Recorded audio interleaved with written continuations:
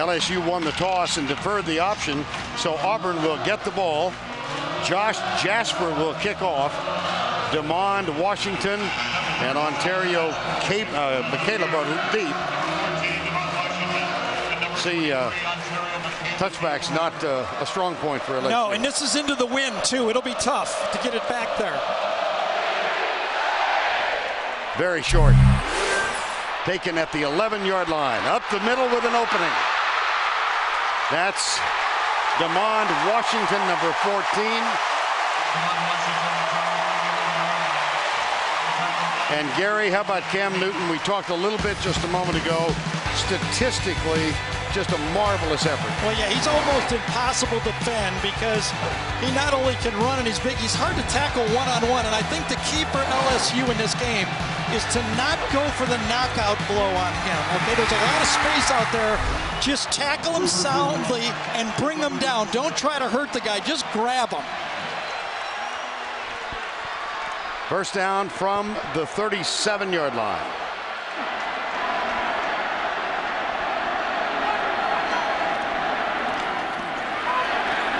Slips the ball to Michael Dyer, who did get the start today, battling a bone bruise or a bad, uh, bad knee.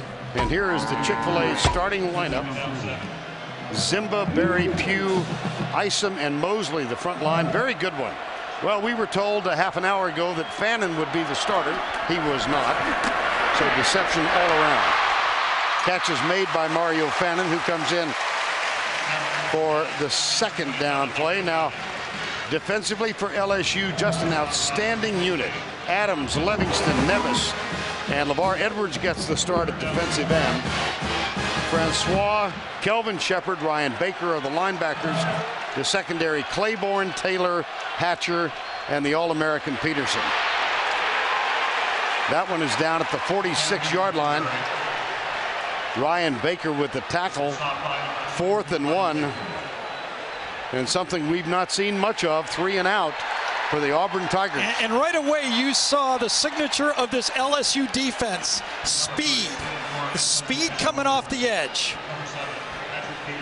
That brings on the freshman Steven Clark. Third game in which he has punted. He replaced Ryan Shoemaker. And the All-American Patrick Peterson has two touchdowns on punt returns this year. This one high. Fair catch called by Peterson. He makes the grab at the 11-yard line. 32-yard punt, but most significantly, nothing on the return.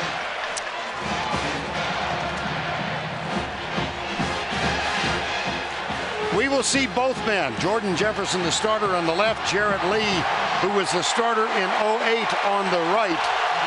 They've used both for the last three or four games. Obviously effectively because they've won. But Jordan Jefferson's stats as a passer this year are abysmal.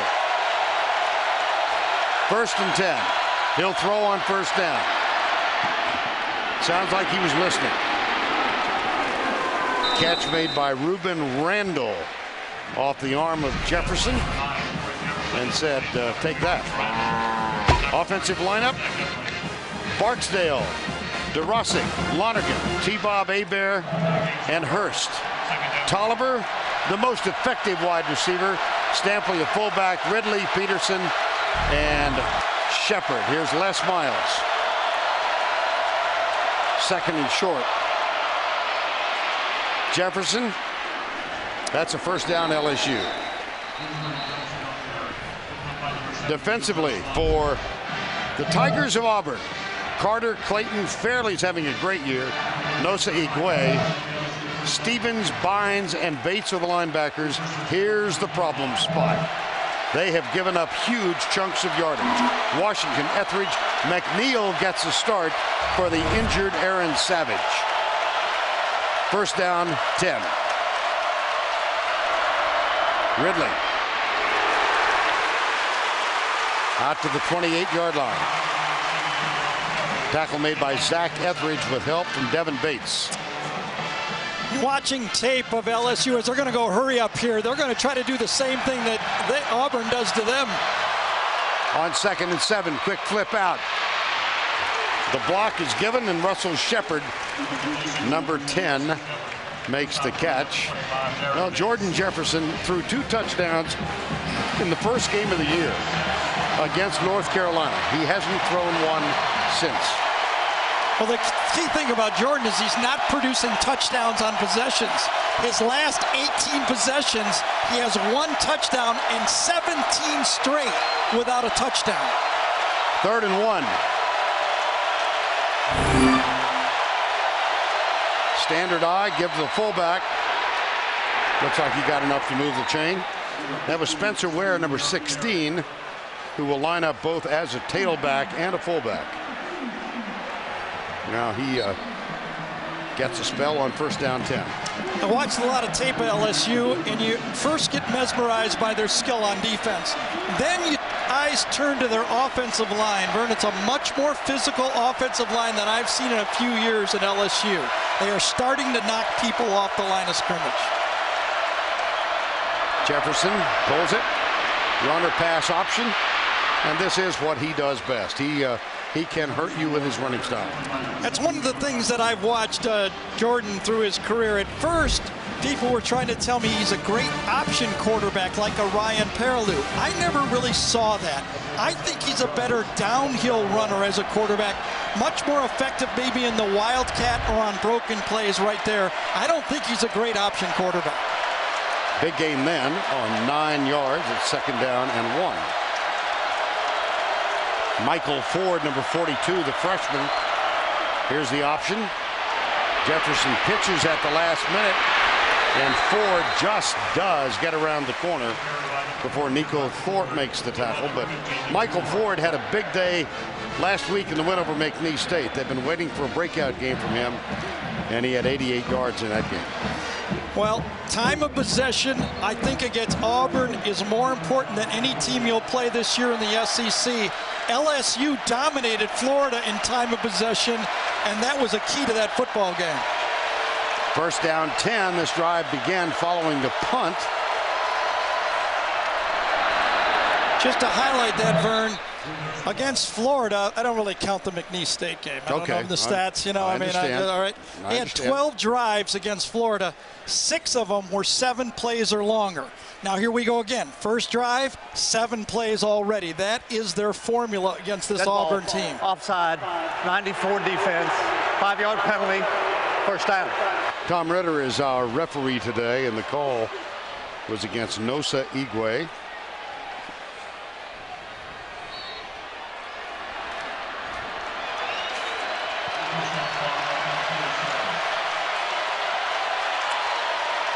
First down five. Jefferson in and out of the hands of the intended receiver, Terrence Toliver. Uh-oh. He's second down. Pretty surprised he didn't get 15 added to that backwards. Vern, that was a poor pass, okay? You got a receiver running full speed in one direction. On a short pass, he has to turn and adjust. Short passes must be accurate. The Joe Montana theory of throwing the ball. Watch his ball behind. See, he has no time to react to it. That sets up a second down and five. Dworaczyk was in the shoving match. Quick setup, slant pattern, Randle nailed, third down. Demond Washington was there. He was, he made a good stop. It was not a well-thrown ball again. It was led too far upfield. Watch the receiver. You don't know if we quite get it. Good catch, good hit, but I really believe it's four-down territory right here. They'll call this play knowing they can still make it on fourth down. Third and one. Could they go deep?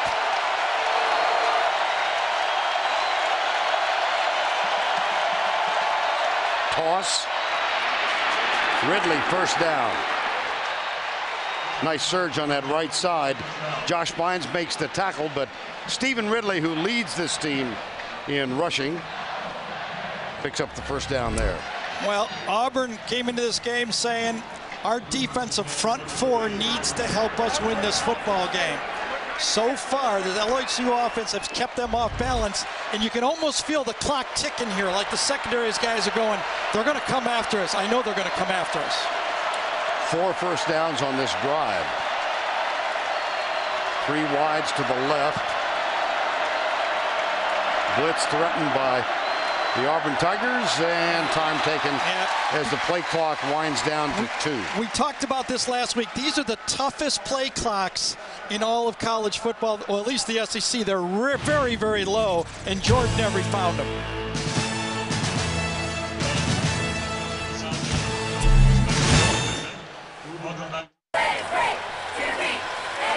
Well, these two teams, rivals in the SEC West, they've met annually since the expansion in the conference. You can see they've split that series nine and nine. The home team has won nine of the last ten. And how about this? The last three meetings, if you add up the scores and accumulate, it's 38 38.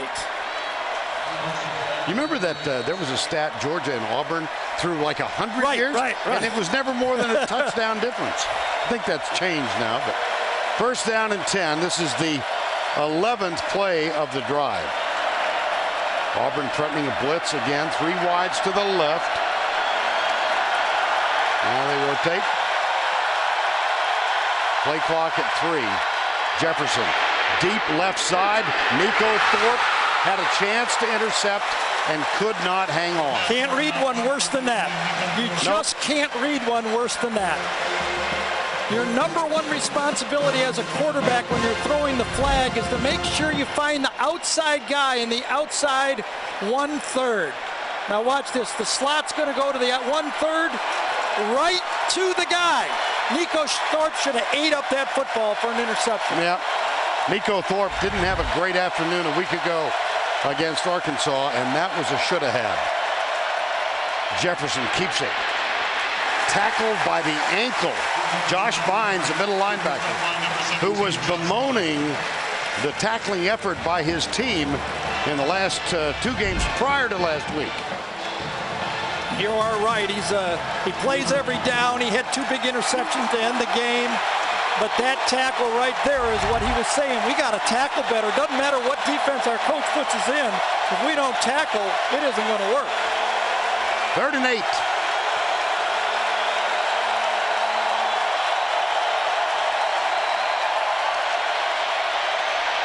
All day wide open, intercepted, picked off by Zac Etheridge on the deflection, down the sidelines. It's Auburn football.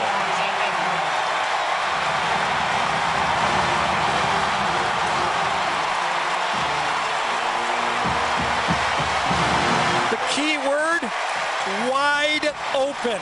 And Jordan, I'm not picking on you, but at this level of football, if you want to beat an undefeated team and be champions in this league, you got to make that throw. I mean, Yeah. that would have been, it could have been a catch. Sure. But that's a poor throw. Rueben Randle, the intended receiver. Etheridge, 41-yard return. LSU's defense did what they wanted to do as we look at Jordan Jefferson with a couple, one bad decision, one bad throw. They had a three and out in the last 70 possessions, now counting McNeese State. They've had 26, so that's 27. Here's Newton. Pulls it down. He's in trouble. But that doesn't last long. Well, he's off to a quick romp around the left side. That should be enough for the first down. This time it was Kendrick Adams, number 94, who missed him. Kendrick Adams comes in, clean shot. The guy in blue is better than the guy in white on that one. I talked to a couple defensive coordinators around the country this week, Vern, about defending this spread and specifically a really talented quarterback like this. And almost unanimously, they said they spend more time talking about rush lanes than they do about pass coverage. It's really important to corral in that pocket and not let those guys break you down by coming in too hard at them. Well, you see the graphic about his uh, cumulative yards in the ground. He has four games already this season in excess of 170 yards rushing at 188 last week. Option, reverse. Around the left side, this is Terrell Zachary, number 81. Karnell Hatcher got him, gain of 12. I thought Ryan Baker, number 22, had a chance to get him. But let's see what happens over here. He's the man that was supposed to defend the reverse. Who gets him? I think it's Lee Ziemba. Lee Ziemba's the guy that gets him, and Ryan Baker gets up and goes, wait a second. The guy's six foot eight, and you let him block me from behind too? Uh, you can see they go quick. Gus Malzahn's offense. And uh, so now Newton has the play signaled in. Flips it out behind Lutzenkirchen, but the H-back, that wasn't a great pass, but he gets back and makes the catch. Philip Lutzenkirchen. Takes longer to pronounce his name than it takes for Auburn to run a play. Well, I really believe this football game, we're going to see more of Cam's ability to throw the ball. And right now, Jordan Jefferson's going, why can't you guys catch one like that for me? Up the middle. Uh -oh. Down at the 15-yard line. Ryan Baker with the tackle. This is just power football. There's three major plays that Auburn runs out of this spread. Quarterback power, quarterback counter, and the zone read. And that time it was the quarterback power. Handoff left side. This is Michael Dyer.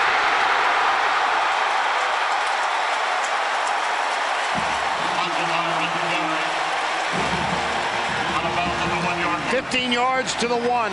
I really like this Michael Dyer. I really think he's going to be a star in this league. Built very low to the ground, big, strong legs. He runs right through Patrick Peterson here and gets another seven yards on the play. Dyer bothered by that uh, that knee last week, but he did have a touchdown run out of Little Rock Christian Academy where he gained over 8,000 yards. And he doesn't have any wrap on that knee like last week. Here's Newton. Why not? No. Touchdown. Now, he was straightened up that time. He was. That was not a Jericho Nelson play that we saw last week when Newton had a uh, touchdown run and a pancake block on the same play. Signal is touchdown. Brandon Taylor right there. Yeah, he ran right through. Those guys, those safeties are not going to be able to stop a 250-pound fullback. I mean, we saw it for four years from Tebow. Now, you know, we thought that was once in a generation player. It's like every year. One year went by. Six plays, 54 yards. Touchdown, Wes Byram with the extra point. Well, this drive began with a deflected pass and an interception. Jefferson throwing deep for Randle right into the hands of Zac Etheridge. He returned it 41 yards, and Cam Newton got the score. Auburn by seven.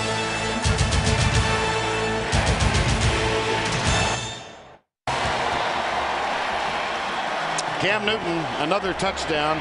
He's responsible for 26 Look who he shares the record with now, Pat Sullivan. All the way back in 1970, and that was the year before Pat Sullivan won the Heisman. I, I would, it's eight games, right? And already, I never really thought I heard this. There's already little whispers that there may be a new greatest Auburn player ever, ever. Did anybody ever think that would happen with Bo Jackson playing here? No. And I'm already hearing the whispers he may be the greatest Auburn player ever. I hope he gets through one season before they announce Yeah, that, that. you know, Bo Jackson had a pretty decent career yep. here. Wes Byram will kick off. Peterson comes up, grabs it at the 12.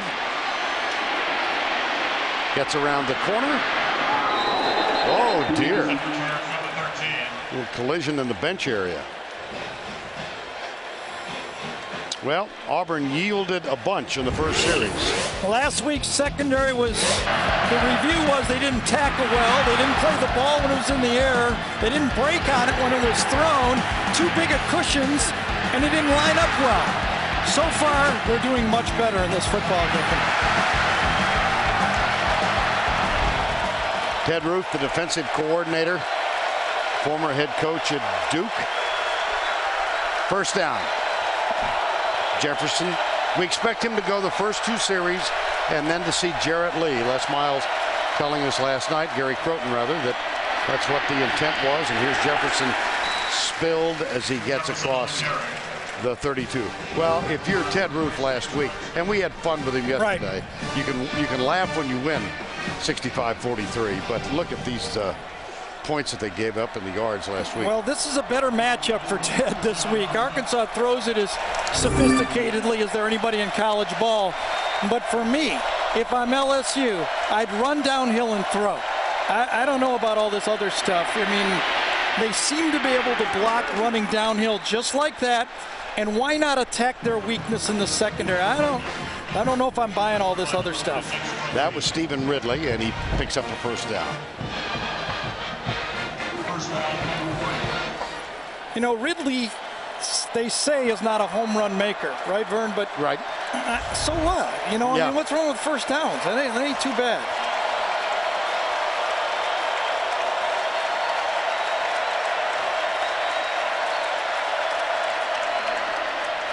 Russell Shepard coming near side. He was the high school quarterback phenom out of Houston and uh, was switched to a wide receiver last year. Chris Davis, number 11, makes the tackle. We were told last night we can expect to see a lot more Russell Shepard in this game. He's more of a factor when Jordan Jefferson's right. in the game. They kind of match those two together.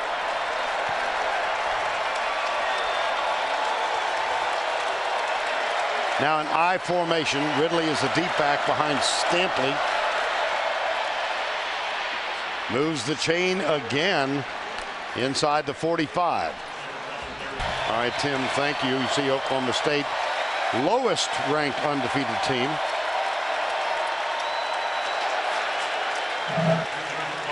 Motion, flags.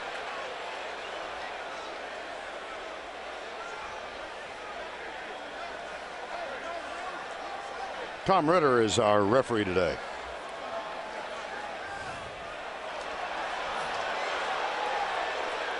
Dead ball, offside, defense, five-yard penalty, first down.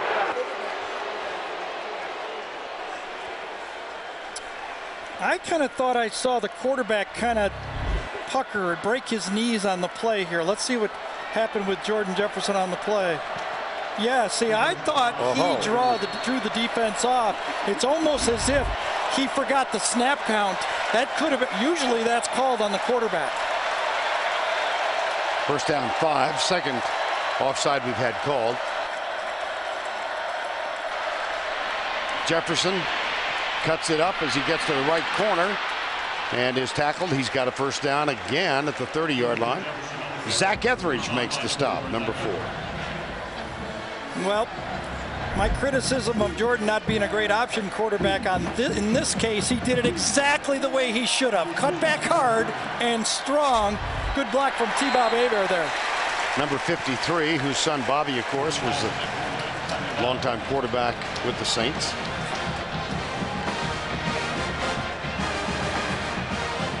Pretty good success so far from the LSU offense.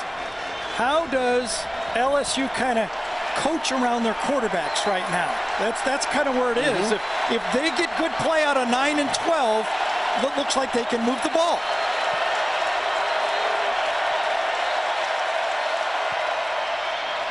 Slip the ball left side. This is Ridley again, number 34. And Josh Bynes makes another tackle, number 17. Latter stages opening quarter. Interception, the big play of this uh, ball game. Zac Etheridge picked it off on a deflection, returned it 41 yards. After that, Auburn went 54 yards for a touchdown. Last time on third down, interception, bad throw by the quarterback. What do you do now if you're LSU? Timeout called by Auburn. On third down and eight. Two minutes, 37 seconds left in the opening quarter. Auburn leads by seven. The touchdown set up on a 41-yard interception return by number four, Zac Etheridge. And for more on Etheridge and the secondary, let's go down to Tracy Wolfson. Well, guys, during all the excitement in the fourth quarter last week versus Arkansas, there was extreme sadness on the Auburn sideline when senior safety Aaron Savage suffered a broken ankle. He had surgery this week and will rehab in hopes of making the bowl game. Fellow senior safety Zac Etheridge said they've texted all week and he's in good spirits. It said his main concern was finding a leader to step up in his place. Etheridge assured him he would be the guy, and so far he's proving it. Vern. All right, Tracy, thank you. That was his second interception of the season. Right now, LSU threatening third down eight, and they are at the 28.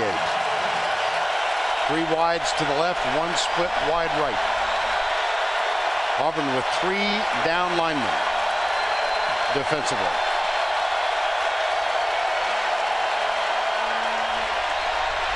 Got him. There's a delay. There's a flag. Yep.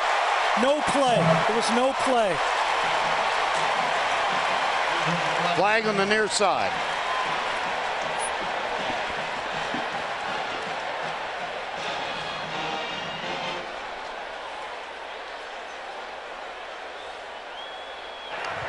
Dead ball, false start, 78 offense, five-yard penalty, third down.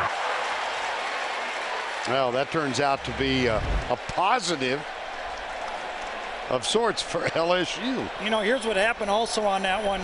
The linesman whistled the play dead, but I don't think the referee heard it. So they let a free shot go on a quarterback right there. That's when the officials really need to get together to protect the defenseless guy. He got driven in the ground. It was Nick Fairley who got to Jefferson. Third and 13. Two receivers wide right, two wide left. Actually, there are three down there. Timeout again. Timeout. This time, I think, by LSU. Yes. Play clock about to expire. Gee, clock management problems. Where have we heard that before? But but this time it was handled by the coach well on the sidelines.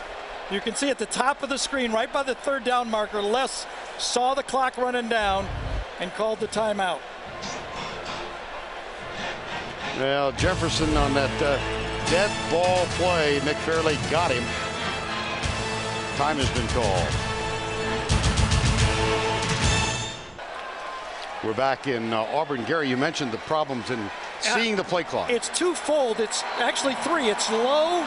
There's a ye- lot of yellow around the clock, and the sun's directly behind him. A bad reflection, very tough to pick up.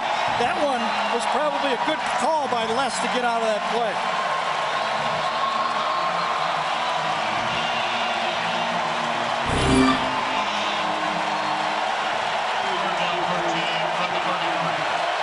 Third and 13.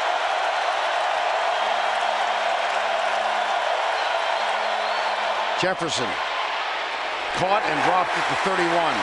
Fourth down. Mike Blanc, number 93, got there. Now this is very interesting. This is into the wind, and this is right on the edge of being able to kick this one for a field goal. I think that's why LSU ran. They tried to get five or six yards to get the three points. Let's see how close. Josh Jasper's season long is 51.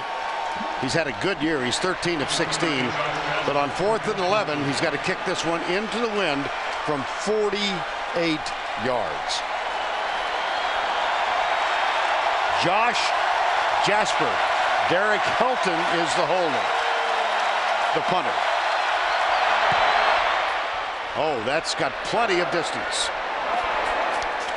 Nailed it. Beautiful. Jasper from 48. He can do more than run. This is kicker for LSU. That's right. Oh my goodness. 7-3. Les Miles quite appreciative of that. 7-3 here. Tigers lead the Tigers. In this case, the edge held by Auburn with 147 to go. This will be their third possession. They were three and out in the opener and then went 54 for the touchdown. Cam Newton got it from a yard out. That's about right. About 12 or 13 drives is a normal game when LSU plays sound defense. Jasper will kick off. Washington and McCalebb are the deep men. McCalebb grabs this one a yard in. He had a 99 yard return last week. And he's got a chance for another big one. But he is cut down out to the 33 yard line by Jai Eugene, number four. I tell you, you got to give it to Onterio McCalebb. Onterio goes about 165 pounds wet. I mean, this guy running kickoffs back like this, that takes courage, and he's done it and showed what an excellent kickoff return man he is. Watch Jai Eugene at the end of this play. He goes over and he does a chest bump with Trooper Taylor, the receivers coach. Who probably recruited him. I, am sure that's the case. Right. Absolutely. That was amazing. Here's a quick trip out to the left side. Terrell Zachary. Now watch Jai Eugene. Been a very important player for LSU. And Trooper Taylor, who's one of the great recruiters. Is that any good? well, there's a lot of respect from these two teams. I mean, they have fought it out year after year. And I tell you, when they play here, they are close games. Uh, I don't want to be a curmudgeon here. But that's probably an NCAA no. violation. They're going to let that one slide. No, I hope so. First down and 10. Up the middle, Newton. So I'm wrong. I said they'd start 7 0. I should have said 8 0. Well, boy, they had a tussle. Here's a play fake at Newton. Looking deep. Double coverage. But there's the. Oh, it's tipped away. What it was a hand on it. It looked like Brandon Taylor was back intended for Quindarius Carr. And Peterson was also defending. One thing we know about Gus Malzahn is he likes to go deep and take five or six shots downfield. Brandon Taylor, excellent job of keeping his eyes on the football and reaching out with his left hand. Left hand. That is wonderful job by Brandon Taylor. Sets up a third down. See Kelvin Sheppard, he's the guy calling all the adjustments all SEC middle linebacker, came into this game leading his team in tackles with 66, 20 more than the second best. Now he drops in coverage across the middle. And that's Sheppard went deep, and they went right underneath it.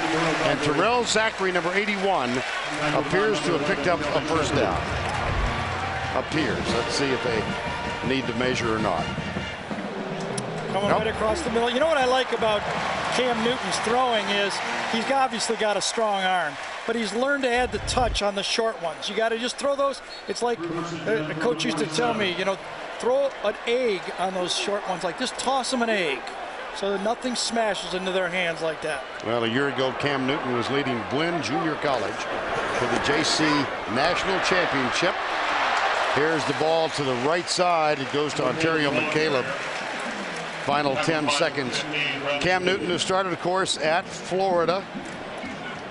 Redshirted his sophomore year, then decided to transfer when Tim Tebow came back for his full season.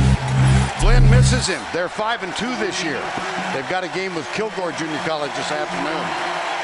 I don't think Cam Newton is thinking about that game right now. That's the end of the first quarter with a score 7-3. We'll return to Jordan Hare right after this message and a word from your local station. I haven't done show and tell since I was in the fourth grade. Let me help We're going to try this. Auburn Media Guide for this year. Okay, just at random. Here's a page devoted to Josh Harris, deep snapper, three colors. And then go back here under Tiger Newcomers.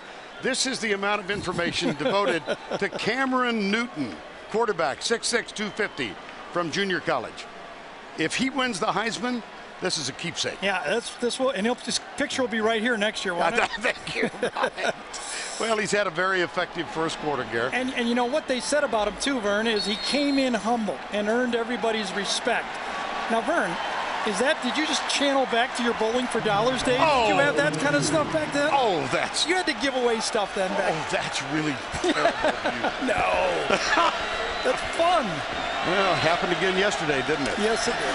It's the show that will not die. Somebody, Curtis Luper, the running back coach. Well, how about Cam Newton for Heisman? No, that's not important. oh, goodness. Newton out of College Park, Georgia. Was recruited by Auburn, but turned it down. Went to Florida instead. Quick snap here. Third and one. There's Kelvin Sheppard looking over at the uh, sideline. Whoa! Yeah, that, that Drake Nevis was guessing on that. I don't think it was Drake Nevis. I'm Levingston. sorry. Levingston. Yep. Thought it was 92, it was 95, but he was guessing the snap count and he guessed wrong. Good explosion, you just gotta wait for the ball. Offside on the defense. Five-yard penalty results in a first down. Think about the pressure, though, when you're on defense in third down. Cam Newton for the year has run the ball on third down 22 times and made it 16. 16 conversions. That's 70, like three out of four times he's going to make the first down. That's why that hair trigger for LSU was right there. Now they hurry up. See if they go with a quick snap. They do. Newton back to throw. He's going deep, and it's incomplete. Intended for Darvin Adams, number 89, and Tyrann Mathieu, number 14, was there to knock it away. Well, take a look at this. The single season rush list for quarterbacks. All-time record set by Jimmy Sidle of Auburn in 63, but uh, next in sight, Tim Tebow. Here's a quick flip out left side. Inside the 30, it's going to set up a third down. That's Terrell Zachary, who's been very, very busy in this first half of play. Again, you could see the speed in the LSU defense. Kelvin Sheppard got out there on the play and did not give the receiver a two-way go. That jumps out at you when you're watching LSU play defense. Third and six.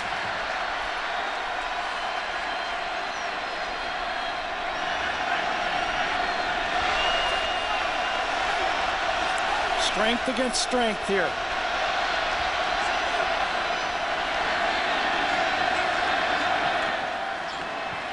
Newton dances right, cuts into his own man, and surges down near the 25. They'll mark it just short.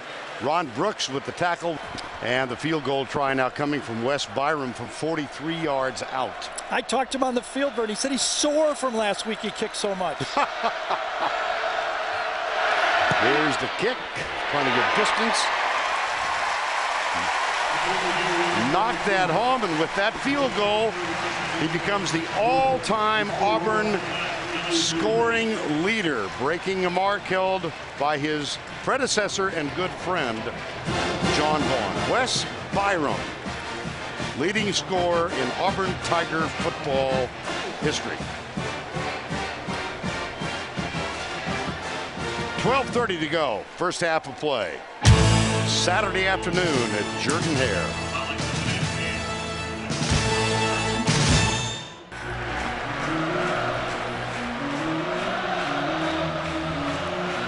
Look how far up the field the LSU returners are on this play. They're on the 10, 12 yard line.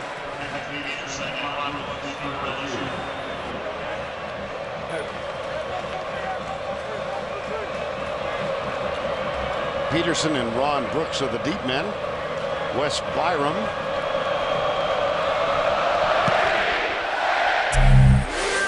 And this one chases Ron Brooks uh, all the way back to the goal line, through the end zone, and uh, out to the 20. Well, the first BCS standings released this week. Computers in love with the Sooners. So far, Yeah. and you saw, and it's time now to cue the duck. Tigers and Ducks, which is the what is the only year in which the teams ranked first and second in the initial BCS standings played for the national title. so what you're trying to say is that graphic we just showed Number doesn't 12 on the kicking team. Five-yard penalty, re-kick. Now you're trying to tee me up.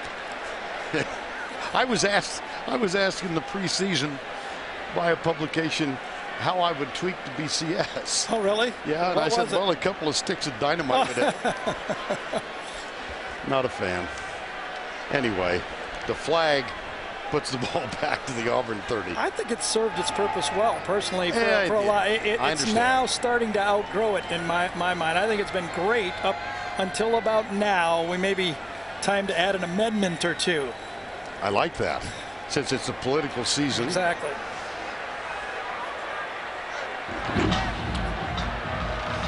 22 plays so far for LSU, and they've gotten three points and a turnover.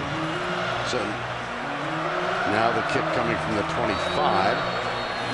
And if form holds now, and Gary Crowton, the offensive coordinator, sticks to his plan, we should see Jarrett Lee uh, in place of Jordan Jefferson. Jarrett Lee, who was the, the starter as a redshirt freshman two years ago, uh, didn't see much action last year at all as Jefferson assumed the reins.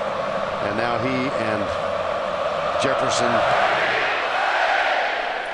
are the two quarterbacks in this system. Here's Patrick Peterson. Nice return. So instead of a touchback, uh, they pick up uh, 15 yards on that exchange.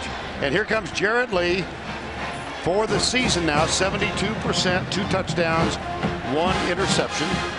Ironically, we talked about Cam Newton playing at Blinn Junior College, which is located in Brenham, Texas. That is where Jarrett Lee played his high school football for the Brenham Cubs. His dad was an assistant coach there, Stephen. And Jarrett Lee has had a very effective season so far. Led them to the win at Florida. Quick toss, Rueben Randle. And that's going to be a first down. Jared Lee, and of course, Gary, we called several of his games when he was that redshirt freshman, had the uh, abysmal uh, record of uh, 14 touchdowns and 16 interceptions. He did. I felt bad for him that year. They Yep. were coming off a national championship type season and a, a chance for it with a veteran team, and he was asked to do way too much too early. Anticipating too many throws, trying to make things happen. He looks much more calm out there now. And uh, from everything we have heard from everybody at LSU, he's handled his uh, length of stay there with great grace and dignity. Here's uh, the toss and the ball for the first down at the 49.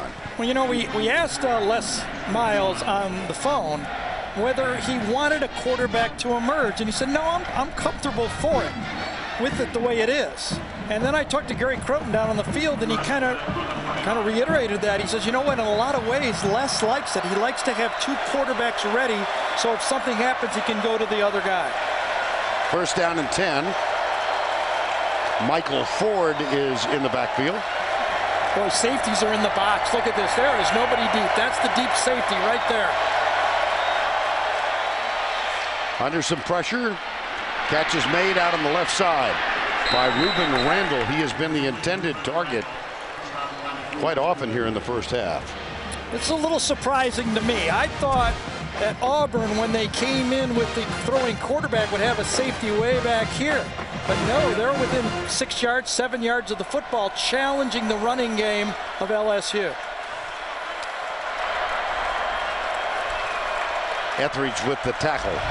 Second down two.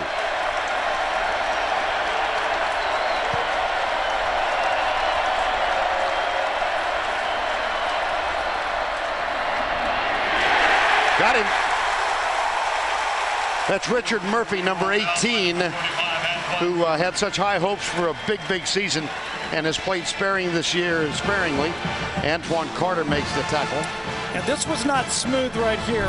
It's one of the problems with two quarterbacks is the ball handling's a little different. He bobbled, Jarrett, Jarrett Lee bobbled the snap, and then it was never clean after that. Third and five.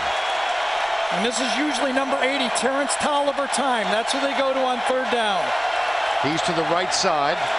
Here's Lee looking left. Underneath pass. It's caught by Toliver. That's who they throw to. Gene Chizik told us that's who they go to on third down. Ted Roof told us that's who they go to on third down. Zac Etheridge told us that's who they go to on third down. They were all right. First down. Uh-oh. Russell Shepard. Looked like a uh, steer wrestling contest out there. And Demond Washington did a nice job that time, Yep. fighting off a block and making the tackle at the same time. He's the field corner on this play. He fights off a block from Rueben Randle and then makes the play at the same time. Second and 11 following the loss of one. Shepard and Toliver break and go wide to the left.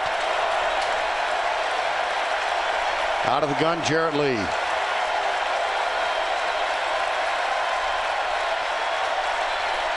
Auburn brings four. Lee, nobody open left side. Now this is not his strong point. That is, and it's dropped. Was it behind him? A little bit, but that was enough time to catch that ball. Angelo Peterson, the tight end, needs to make that play. It's, you know, second and long. This is going to get about eight yards. It was a little bit behind him. You know, just to read it, that story of Les liking two quarterbacks. Remember when they won the national title with Matt Flynn? Ryan Perrilloux played a big role in that season, so he kind of likes the changeup of two quarterbacks.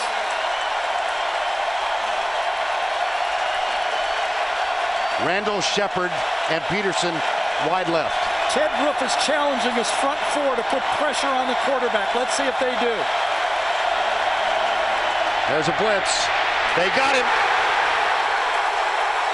Nick Fairley, who's having a stellar season, leads this team in sacks, and he just picked up his sixth. Well, he challenged his front four, but he bought six guys. This guy right here has the back, and this guy has the back. Whichever one he blocks, he takes them. And then the other one comes in for the sack. Beautiful play that time. Josh Bynes gets the sack on the play. That's going to bring Derek Helton on to punt. So they reach the 39, and Quindarius Carr is the deep man, number nine. He's at the 10-yard uh, line.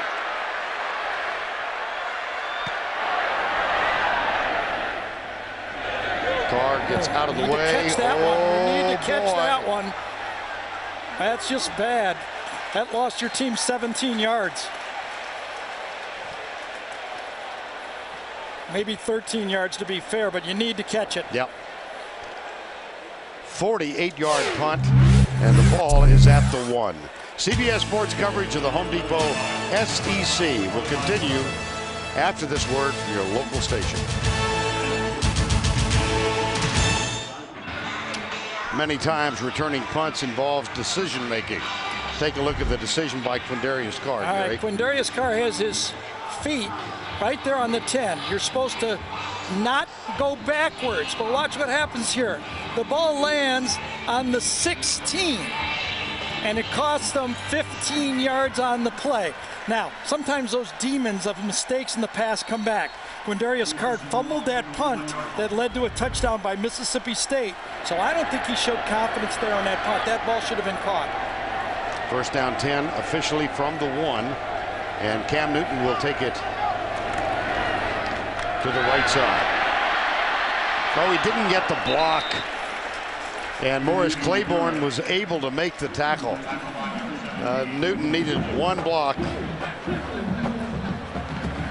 Onterio McCalebb, and he didn't get the block. Yeah, well, it, it, would have been, you know, a nice block. He was kind of, McCalebb was looking outside, and he saw Claiborne at the last second and wasn't quick enough to get there. Again, speed on defense. It's a mm -hmm. difference out here watching LSU than Arkansas a week ago. Second down. That was a slip tackle, and uh, Newton up to the 10. Well, the Auburn Tigers began this uh, with a rarity for them this year, three and out. But then after the 41-yard interception return by Zac Etheridge, 54-yard touchdown drive. What did John Chavis, defensive coordinator, tell us? Don't tackle him high. And that's exactly what happened on that play. Too high, he ran right through it. Third down, quickly up to the line of scrimmage. Oh, brother, McCalebb, he got the first down. He was almost nailed for a loss. But Auburn is able to move the chain.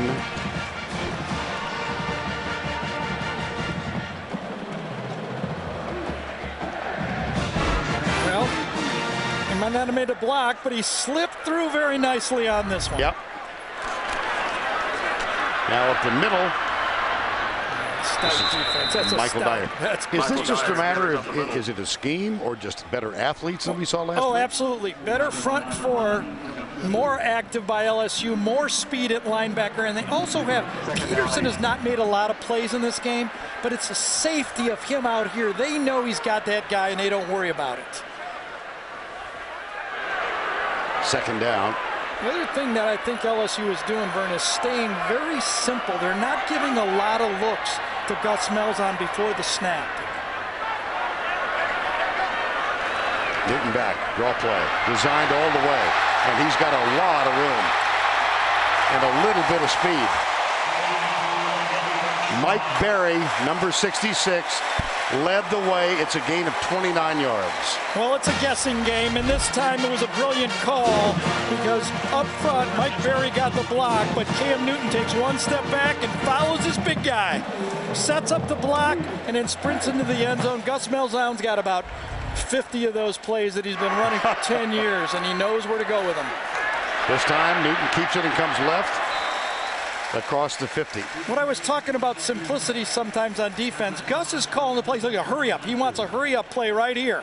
He wants to quickly go on second down, especially near hash, is when they really want to go fast. And so the play signaled in. The umpire yes, he was late. That's right. Up the middle, Dyer, first down, Auburn. They want to go quick again. Near hash, go quick again. Gus Malzahn is going go, go, go, go, go. How about he said to us, did you watch much of Oregon? He says, no, but they really go fast, don't they? First down and 10.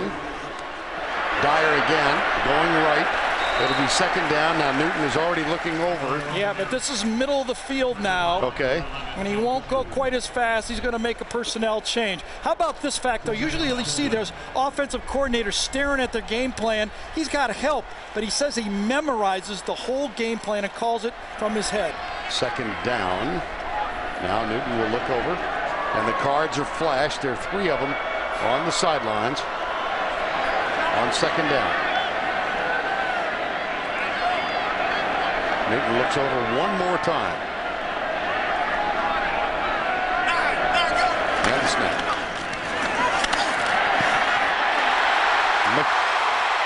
Fannin, Mario Fannin. Thought for a moment it was 23 instead of 27. 14 yard game. Well, three straight SEC 300 yard rushing games in a row for Auburn.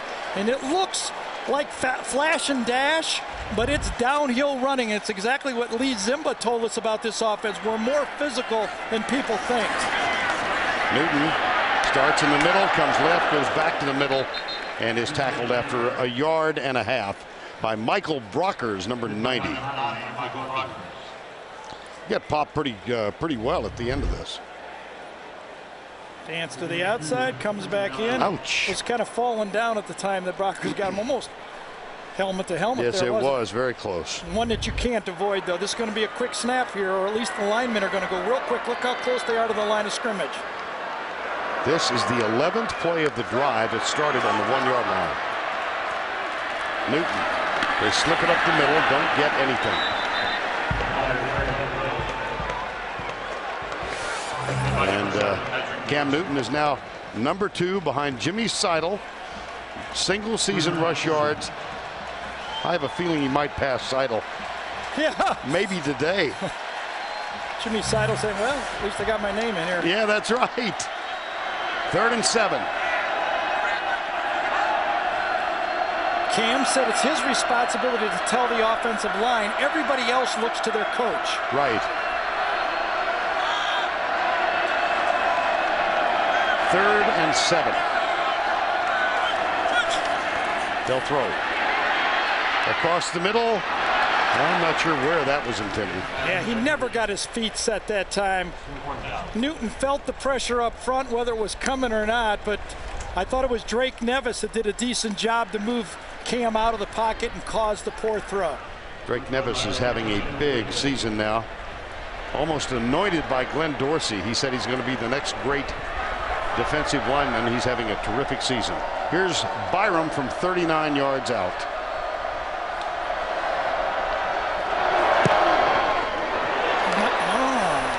Oh, no. No.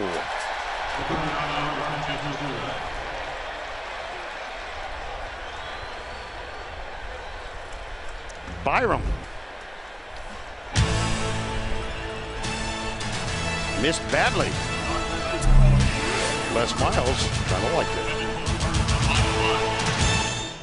BCS standings, the first uh, first of the season revealed last Sunday. Oklahoma on top, Oregon second, Boise State, and then Auburn is fourth. And there cues up the uh, answer to the trivia question. The only year in which the teams ranked one and two at the start played for the national title. 2005, Texas, Southern Cal.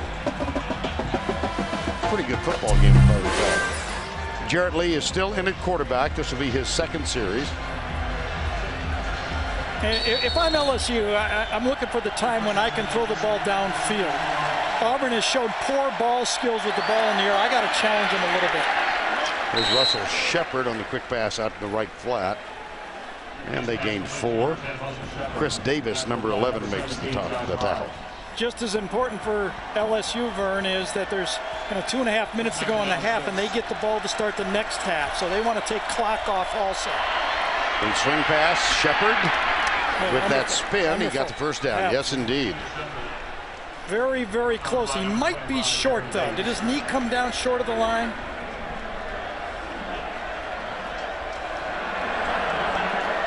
He did. Yep. Yep.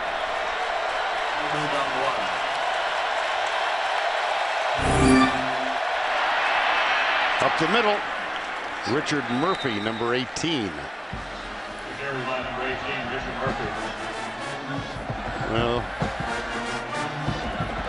Matt Mauck wore number 18 for LSU when he was the quarterback, passed it on to Jacob Hester and Richard Dixon, and Murphy is this year. It's a, it's a tradition that's less than a decade old, but quite an honor now for anybody to be voted to wear number 18. And the, the vote includes Matt Mauck. Yeah, uh, Jarrett, Lee. Lee. He's wearing Nick Fairley on this one. Yeah. Nick Fairley, number 90, was all in his jersey that time. Watch Nick come up right there and plant him. And that's when that left wrist, left elbow, when you get driven. I broke my wrist on a play very similar to this. Ouch. Otis yeah. McKinney, strong safety for the Oakland Raiders. You don't forget those things. No, no, no. Well, time has been called by the officials. Jarrett Lee and Jefferson uh, warming up now. Nick Fairley has been a tear in the SEC, maybe the best defensive lineman. He, along with Drake Nevis, all year runs right through and and that's a that's a good play. I mean, you can't call that unnecessary roughness or anything. He had to take the quarterback down, and that is a good call and a great play by Fairley. And it was a week ago here that he sacked Ryan Mallett. Turned out that on that sack, Mallett suffered a concussion. Ryan Mallett is playing in the game today. He was cleared for further play. And now Second down and 10, and Jefferson is on. Now, now do you call plays different? You don't want to make a mistake at your own end here. 10-3 is not a bad halftime score. Four-man rush, Auburn. Jefferson, no. Oh, face mask. Look at that, three hankies. Yep, oh yeah. And now it gets very nice to throw the ball around. You're going to get close to the 50-yard line.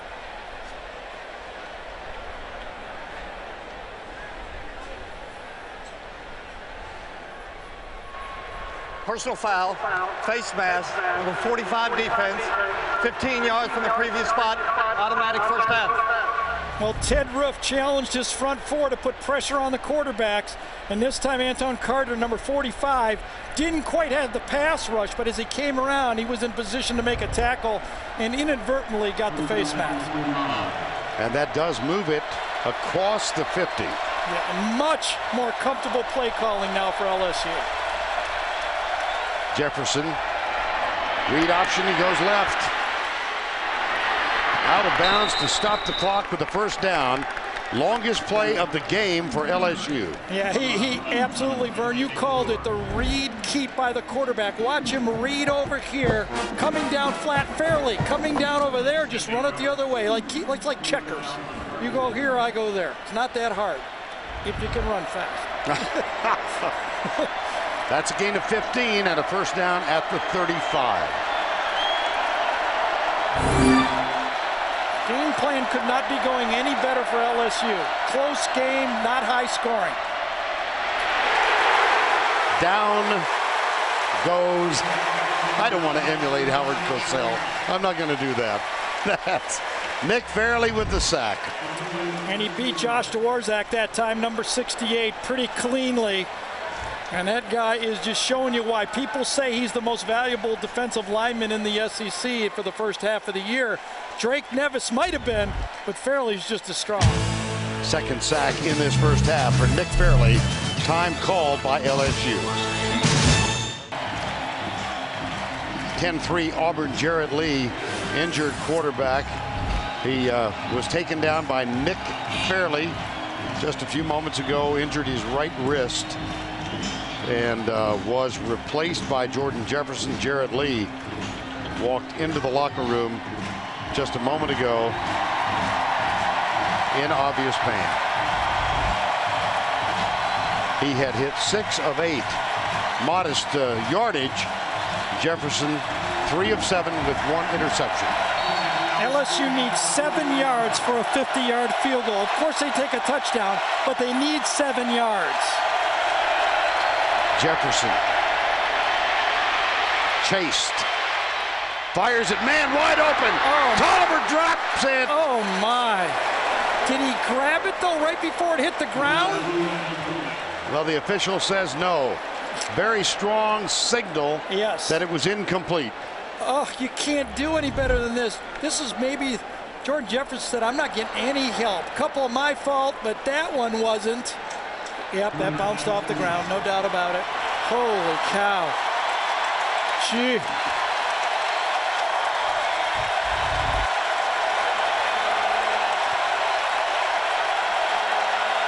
Third and 16.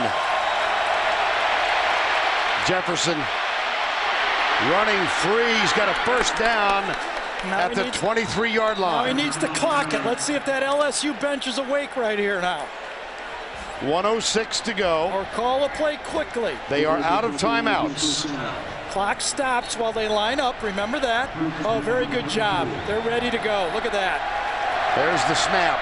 Three receivers out. Pass is complete. Really the offense's advantage when they hurry up after a first down like that. Toliver makes the catch. Look at how much more prepared. There you are, ready. Ready to go. Three wide right, one to the left. Here's Jefferson, high snap, controls it behind the receiver, but Murphy makes the catch. Richard Murphy, number 18, and a little jawboning going on. Josh Bynes. Now Toliver had the big drop, but remember Terrence Toliver also had the big fade catch against Florida. That's who they like to go to on that situation. Nick Fairley out of the game here, and Auburn takes a timeout. That's their second one left, 48 seconds to go. And when we come back to Jordan Hare, second down, seven. I thought that was a great timeout by Auburn. They were tired and a lot of things were happening. And they wanted to regroup for these final two plays here. This is the 11th play of a drive that began after a missed 39-yard field goal. And Nick Fairley is gassed. Even a timeout didn't get him back on the field. He's still out. They're going press out there. Jefferson takes off and runs out of bounds just inside the five. And that stops the clock with 43 seconds to go. Well, so many people have second guessed the two quarterback LSU system. Frankly, they haven't been producing a lot of offense, but it has paid off for Les Miles in this football game. He has both quarterbacks ready, and he's got one goes down, and the other guy's doing the job right now. Third and one at the three. Have that field goal team ready if you're LSU.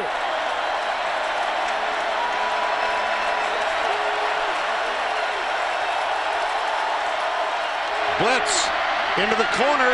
Toliver, no. There's a flag down. Neiko Thorpe, I think, is the guy who held Toliver's jersey on the play. They were waiting for bump and run, weren't they? I thought they were going to go on third down. Excuse me, the down prior. But mm-hmm. they saw it on this one and they went with it. Now it gets a little hairy here. 39 seconds. You got to call. Number 15 of the defense. The foul took place in the end zone. The ball will be placed at the two-yard line. Automatic first down. Neiko Thorpe grabs the jersey. That's an easy call. Had his hand on the ball, but it came way out before you. Got to call two plays in the huddle if you run it. If you're running it, you have to have two plays called. See the Verizon Red Zone stats. Ridley. Nothing. Nothing. Clock running with 34 seconds to go. Either going to clock it or he had another one ready. Jefferson looked like he was making a signal to clock it. Les Miles would seem to confirm that. Yeah, Auburn won't get off the pile, so the officials do a good job of stopping the clock. That's the way it goes. Now the ball marked for play. They're going to clock it here. There it is.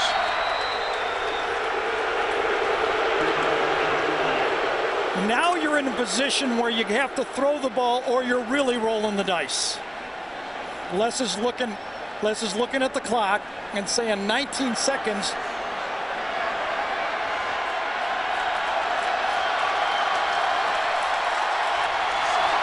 He's got an easy time for a fade here. If he runs it, it's a gamble that they can get a field goal off.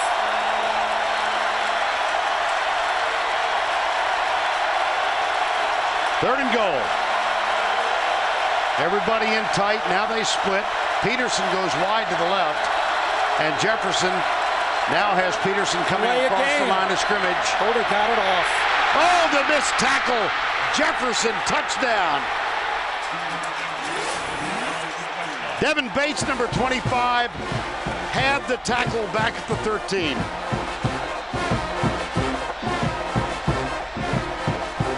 And had the tackle been made, the half would have ended. Remember, we talked about Jordan Jefferson. He did not let a touchdown drive since the first play at Tennessee. 19 seconds. The clock goes to zero in the ball. Now, that's the delay that the official's looking at the play clock and grabbing the flag. But right there, if that tackle's made, the half ends. And Bates is still down.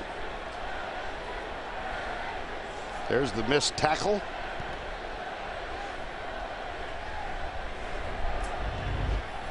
The way I understand the rule is it's not the clock like basketball. Okay. Okay.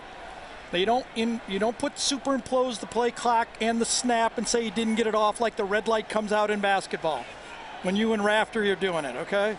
okay. I think it's a referee's call. Got it. That makes the play. Now Bates will trot off uh, unassisted. If he goes low here, of course he's lunging on the play, and Russell goes through it. Excuse me. Jordan Jefferson, Jefferson goes right through it. But how about that lead drive after the injury to Jarrett Lee? It was a called pass play, but it could have been a sack, and I think they would not have got their field goal team out there in time. Jarrett Lee is back on the bench. Josh Jasper will try the extra point to tie this one up. Among the legendary games between these two, remember the missed extra point and a penalty called. And on the retry, they got it. 10-9 the final then. It's 10-10 here. All right. Auburn fans are saying, what about the play clock? The play clock, does it run down to zero before they snap the ball? Remember, the play has to be called by the back judge as a penalty. Clock goes to zero. The ball is not snapped yet. But it was not whistled. And the way I understand the rule is the play has to be called. There's time between when it hits zero and when the official throws the flag. I just explain them. I don't say whether it's right or wrong. Seems to me zero means zero. I, it certainly looked that way, didn't it? There's no time after zero, is there? The time is between one and zero, right? My, oh my.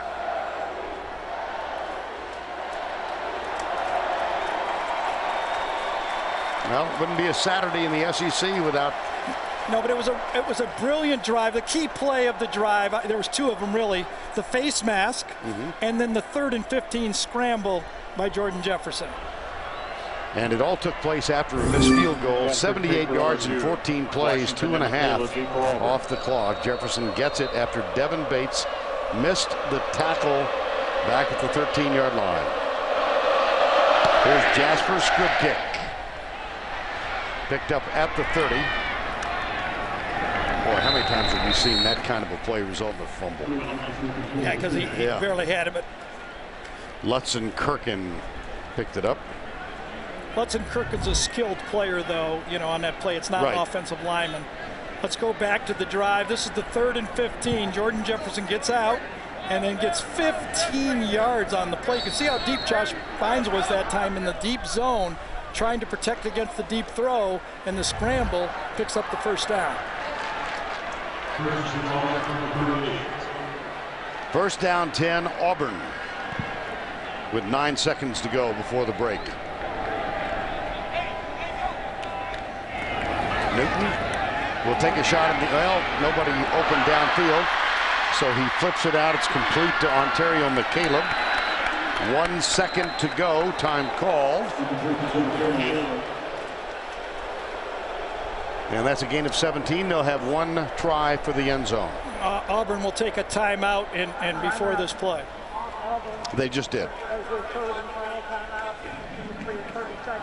One second to go. 10-10 ball game. For this play, I saved this, Vern. It was in the Michigan State Notre Dame game, and the proper mechanics by the back judges to look for the play clock and throw the flag. There is a half second time in between. Here's Newton. Heaves it into the end zone. Ball is up, the ball is down, and the half has ended. Not without some talking points, however.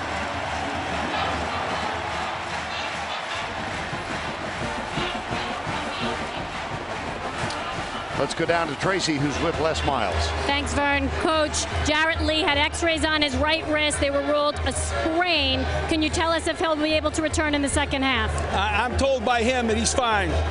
If he can't go, though, what will you miss with him being out? Well, I, uh, you know, I'm not really focused on what we're going to miss. I really enjoyed the drive that, uh, that um, Jefferson orchestrated in the back end, along with Lee, to drive down there and tie the game. How important was that in terms of momentum going into the half? Well, you know, 10-10 now is much different. Second half, we're playing for victory. You mentioned just giving up 10 points. How is your defense able to hold them to just 10 points? Well, I, honestly, I think our defense needs to play better. I, I see some missed tackles. I think our defense is going to look at that half and say, no, we need to play better. Thanks a lot. Vern? Uh, Jarrett Lee went down when tackled by Nick Fairley. Jordan Jefferson came on. He had started the game and had the big scramble on third and 15 for a first down, then got the touchdown. That's the end of the half. It's 10-10 here. Let's go to Tim Brando in our New York studio.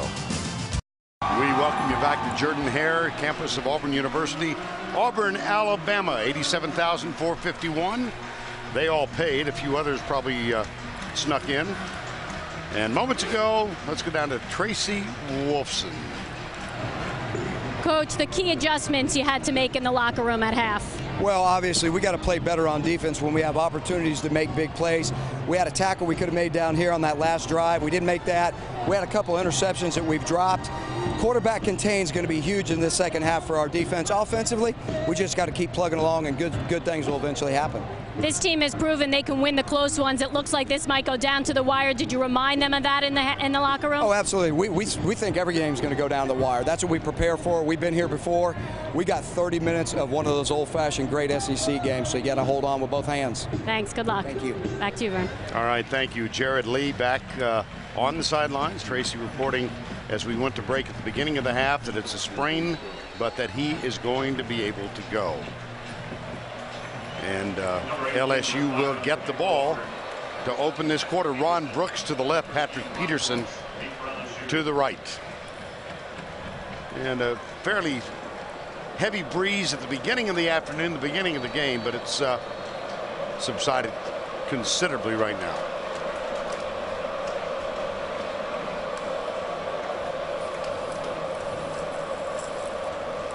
Ten ten. LSU Auburn SEC West both undefeated.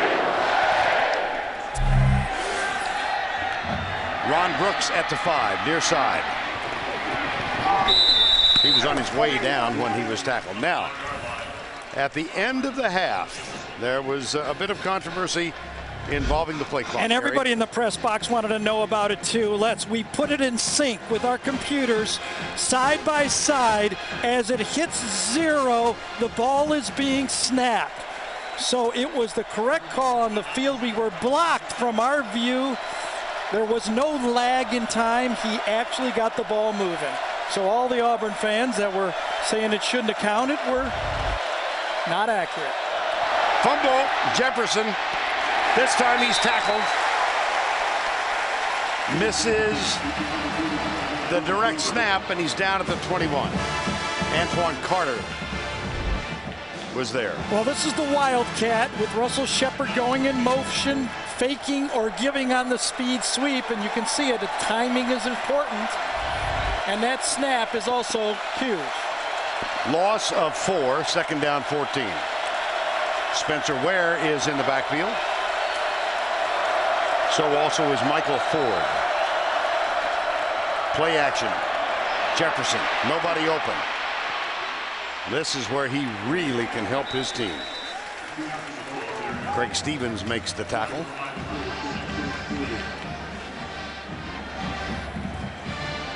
Third down.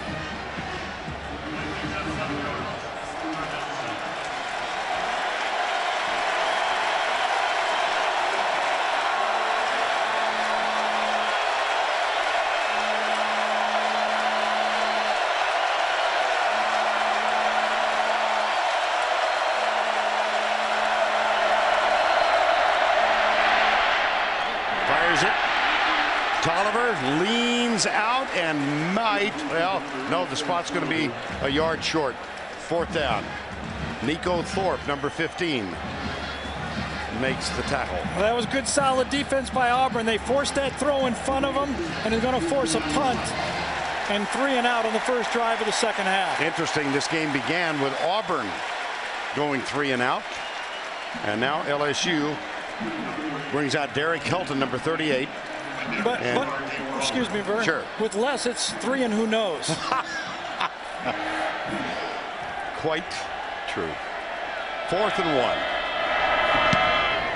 Oh, oh beauty. Beautiful punt. Derek Helton chases Carr all the way back inside the 10. The fair catch made at the 9. That is a 56-yard Derek Helton punt. Well, the most important trend for LSU is they never got let Cam Newton get going. You know, where the, the smile was bright and he's making guys miss tackles. Jordan Jefferson had that great last drive.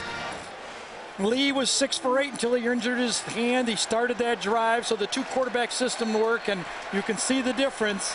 First half to second half, this is a legitimate, one of the best defenses in college football, and they're corralling this Auburn offense so far. On first down 10, Onterio McCalebb starts in motion. Play fake. Newton rolling out, lobs it up. Caught. That's Darvin Adams. That's his first catch today, and there's a flag down back at the 15. Yeah, I think this one's coming back. I think you're right. You can tell by the body language. Not many times you see Cam Newton without a smile, but he knew it was going to be holding. Coming across the field, Darvin Adams turned over to the safety and nice throw, but all for naught. An eligible player downfield, number 75. After distance to the goal, we play first down. Yeah, I think it was uh, Brandon Mosley. Yes, didn't quite see that. I, I, you know, everybody. I think even the offensive line for Auburn. Once Cam misses a tackle, he figures Cam's going to go. Right in the middle right there. He climbs the block, and when he's downfield blocking on the linebacker, they they just too easy of a call. Well, that wiped out a 19-yard gain. And off left side. Oh, watch out. Michael Dyer all the way to the 35-yard line. See, I worked all week Ray Rice is who the guy he reminds me of. And just like this, Ray Rice used to run the ball at Rutgers. Great balance, short in stature on the play, but he runs right through him and then gets to the outside. Patrick Peterson does enough to get him to the sideline, but it's perfect balance, and that was just a power play. That's a gain of 29. LSU. McCalebb's hit right next to the quarterback, crouching down right there. See him? Play action. Got a man open, Darvin Adams. He's at the 50 and is out of bounds. Darvin Adams' second catch for this one will count. It's good for 16-yard gain.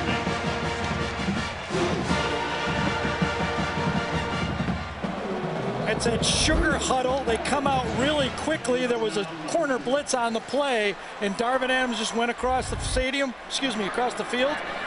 Easy pitch and catch.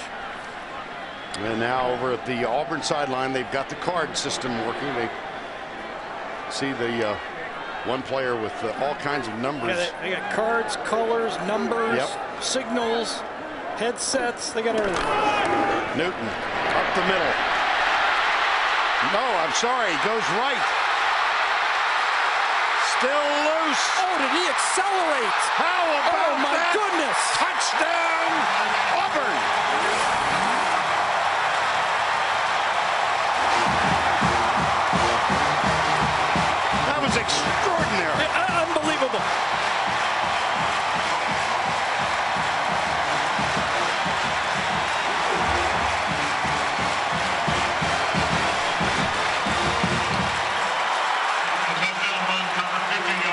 electrifying.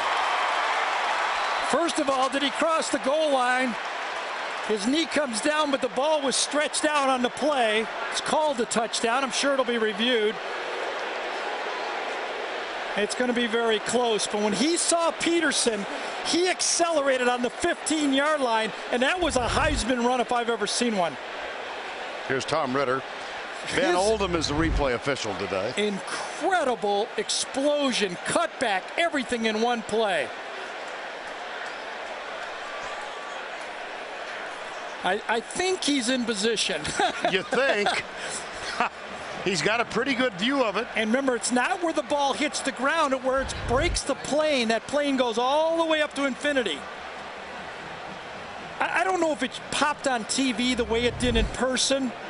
But when he saw Peterson come and he accelerated about the 15 yard line, it was incredible.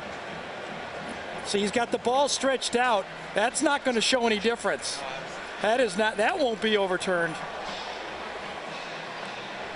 Now look at the uh, mechanics of the official. Perfect position. Yep.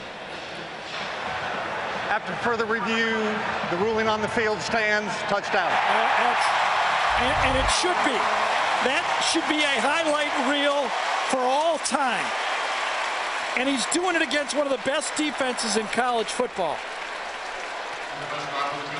Well, he's had a below average day now. He's only rushed for 127 yards. And that's his ninth run of over 20 yards this year. In 2007, when Tim Tebow won the Heisman, he only had four runs of over 20 yards all year. All right, let's just settle back and watch a young man who is fulfilling his athletic potential.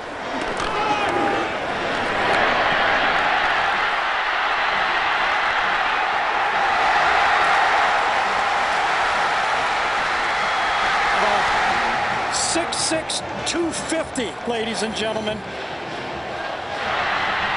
Watch him accelerate right now. Oh my gosh.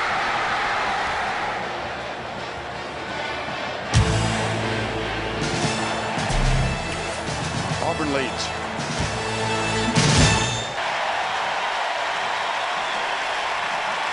Well, the applause has continued for Cameron Newton, College Park, Georgia. playing in his eighth game for the Auburn Tigers. A brilliant 49-yard touchdown run. And Auburn's up 17-10.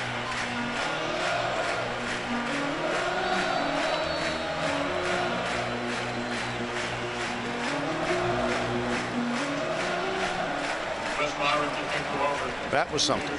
Yeah. I haven't seen much like that. You know, I, I, I, was quoted this week saying my jaw dropped when I saw Michael Vick, Tim Tebow, Vince Young, but this guy makes my jaw drop. Here is the kick. Taken by Peterson.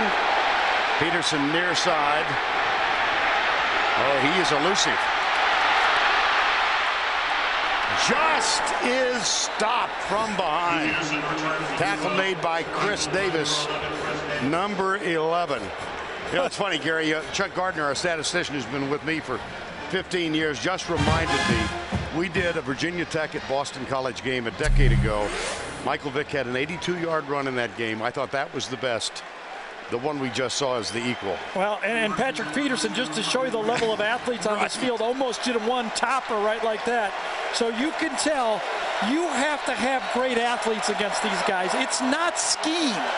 These athletes are changing college football. Jarrett Lee is back in there, sprained wrist and all. I asked for this, Vern, to watch it from the play-by-play -play cameras because I think you can see him accelerate. Watch him right about now. Could you see that burst? And he's going against a future top 10 pick there in Patrick Peterson, and he was accelerating away from him.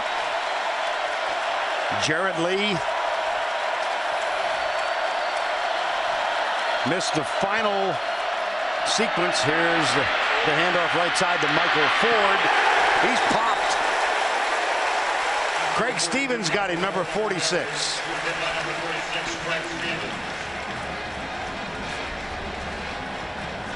Well, Craig Stevens and Josh Bynes don't come off the field. They're veterans. They've seen it all. And both of them are saying this is more fun than playing against Arkansas. Third and six.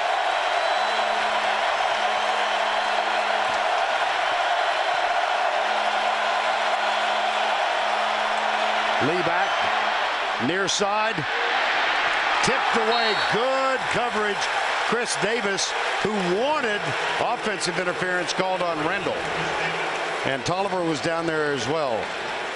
This is about what I was calling for. Let's put some balls deep if you're the LSU offense. And you see Chris Davis, he ran right through him. Very seldom you're going to get that call because Randle was going for the ball as right at the end of that play, meet Mr. Fairley again. Totally unfair that a guy is that good, Fairley. but you got to throw some deep balls because you got to figure your athletes on offense is going to grab one of those sooner or later. Great, great coverage by Chris Davis. Quindarius Carr is back at the 10. Here's Helton, who's had a good afternoon, sends this one very high. And the fair catch is called. Well, he let it go. Yep. This time he gets a break. Now that one was good fundamentals. Okay. He lined up at the 10. The ball went over his head. He let it go. And it will come out to the 20. 9.28 to go. Cam Newton when we return. Well, Cam Newton told us last week, I am a throwing quarterback. He can also run pretty well. Now it's time to take a look at our Home Depot tools for success. Well, in the open burn, we had three different plays when he went through, around, and over Arkansas. Well, here he goes through, around, and then over the goal line. That, that was you don't even have to stay up late and watch the, the show tonight. Right. they'll, they'll spend half the night doing that play right there. We saved you some sleep. Auburn leads at 17-10. Second three and out in succession for the LSU Tigers. Now Michael Dyer in the backfield. He gets the handoff and picks up uh, four, almost five yards. Well, Tim, I always like it when you're malleable. You know, you can shift with the tide. Here's Newton. Fires it, put it low, incomplete. Good coverage from Morris Claiborne. Well, let's uh, take a look at a comparison of Cam Newton's season. Well, Newton for the year, 987 yards rushing and 13 passing touchdowns. And about nine wow plays, which you need a couple of if you're going to win. Well, this is uh, And, and having a eight and a zero on the team record also works pretty good too. Mm-hmm. third down five. LSU brings four. Newton across the middle. Look at that. Just drilled it. Darvin Adams, first down, Auburn. I, I, I have kind of saved my evaluation of Cam until I've seen him practice twice and now watched him twice. People have been saying he's a great prospect for the NFL. I will say this. I think at this stage of his career, as we watch Auburn get ready to either snap it or fake snap it, to be continued. There's a quick clip, just a little bit in front of Zachery, but uh, led him just perfectly. I mean, yes, he did. yeah, He's learned to touch it. Here's what I will say. At this stage of his career, he's a better pro prospect than Jamarcus Russell was, Tim Tebow was. And I think the only guy I've seen in the SEC since I've been here that's superior or farther along was Matthew Stafford. He will definitely be drafted very high in the NFL. He's got a pro arm, and he's obviously got some other tools, but he has the throwing motion to play at the next level. Of course, you. Uh, I think you're beginning to get familiar with his story. It's first down and 10 now. Wonderful The middle, read. yeah, fumble. Fumble. Mario Fannin, who's had fumble problems, loses the ball, and LSU takes over.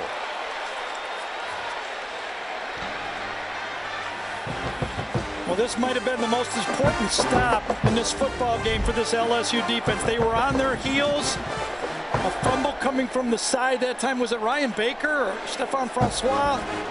I don't know who got his hand on it from the side, but there was a tackle. Ryan Baker. Yeah, I think it was Ryan Baker. That's what I thought. Coming from the side, Ryan Baker, and that changes everything. Everything seemed to be going Auburn's way. All of a sudden, a turnover can change it. Beautiful view from a couple of thousand feet up, and aerial coverage of the SEC on CBS is provided by MetLife. Mario Fannin with the fumble, and I would uh, expect feeling a little lonely right now. Yeah, he had to go talk to his offensive coordinator. I think he said, like, don't give up on me. Don't give up on me. It's one of those things that happen. I'm fine. That's what I think he said. I don't know for sure. Hey, three, two straight three and outs for Auburn. Can they do it again? And let's check in with Tracy Wolfson. Well, guys, this banged up Auburn defense just got a little thinner. Starting linebacker, sophomore Daren Bates hurt his shoulder at the end of the second quarter. He is out for the game. All right, thank you, Trey. Second down and 10. No gain last play. 7.40 to go, third quarter, 17-10, Auburn. That's got Jonathan Evans, number 35, is in there replacing him. One of the great special teams players for Auburn. Jefferson fakes it, goes right into the secondary. Well, Uh, Gary, delivers a little Cam Newton of his own. Yeah, Gary Crowton was right. When he said what I like about what oh, excuse me, what Jordan Jefferson gives us is great downhill running from our Wildcat. And he is a difference with that running attack. But now both scrambling on passes, but on that design play right there. There's Evans on in place of Bates. Quick count. Jefferson rolls out to his right. One hopper at the feet of Rueben Randle. Second down. And 10. All this stuff that's been going Auburn's way. It's 17-10. Right. Just relax if you're LSU. Ridley goes right. Gets by the first wave and then is tackled after a two-yard gain. Josh Bynes, number 17, led the tackling group. Now here's that key third down play where Auburn has, remember the last time they brought extra players, they said four-man rush, but they brought six. Will they bring six again? They need about five yards, Vern, for a field goal.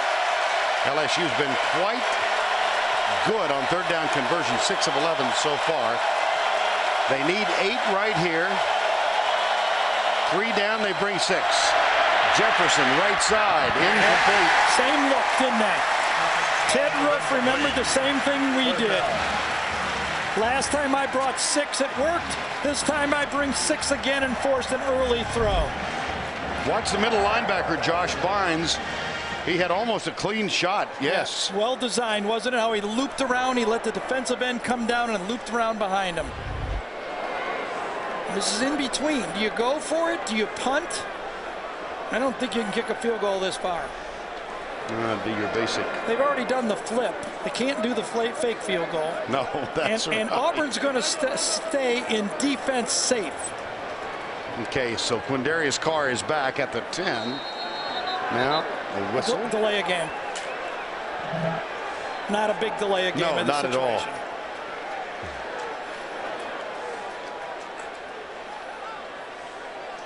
What will Gene, Gene Chizik do? Will he take five yards or will he force him to punt there? He's going to decline this. Delay game, number 30 on the offense. That penalty's declined. 4,000. See, this is where you got to know your opponent. He's trying to tempt Les to go for it. He's, now just, he's going to say, Les, it's only eight yards. You can Well, do it. Here's He's- Josh Jasper. Okay. Yeah, But I got my defense safe in there. So let's see what happens. Remember last week, Josh Yes. Jasper? He faked it and ran for the first down. I would assume Auburn saw that tape. Yeah, this is a this is a punt instead of a field goal, a little different. Right.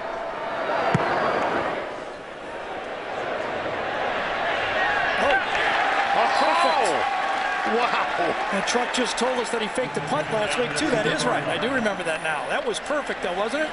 Ron Brooks. 36 yard punt. Needless to say, no return. Be right back. 6.18 to go, third quarter in this one. And for the second time in the ballgame, Auburn has forced, uh, has been forced to start a drive inside their own five. Here's Cameron Newton. Ryan Pugh, the center, snaps it back. Not much there that time. Drake Nevis, number 92, was uh, down low.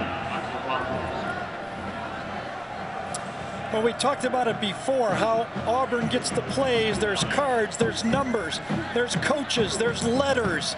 B-52, that's got to be the bomb, doesn't it, the B-52 play? Yeah, Let's see. if there's every any symmetry to this, he's going deep. Good defense. Yes, it was. Oh, wow. Forward progress is going to be marked at the one. Well, To I- Ron Matthew, number 14. The crowd is reacting that the forward progress was about at the five. Well, let's look again. That's what Gene Chiz is saying too. Six yard line, he gets hit and knocked backwards. And then really never gets his momentum going again. That, that was a strange call. They're going to look at it again. yeah, that's a Yeah, strange review it. call. That's reviewable. There's the catch. Yep. There's the contact, and he's out well across the five. Yeah, he never regathers himself again, and then he gets hit before he gets to turn up. I think they may bring this ball back out to the six yard line.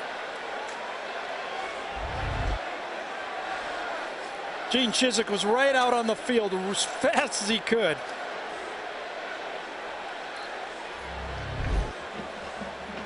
All right, here's the catch and the contact. One foot down, two feet down. Yeah, I, I thought one of the linesmen spotted it, and then the other linesman re, re, re- overruled it and said it's down to the one. So I'm sure they have some pecking order out there that I'm not aware of, right? Mm-hmm. You are a rules guru. No, no, I read them. I don't remember. In this league, you got to study the rules. Believe me. It's a long off season for me. Here's Tom Ritter. After further review, the ruling on the field stands. Third down.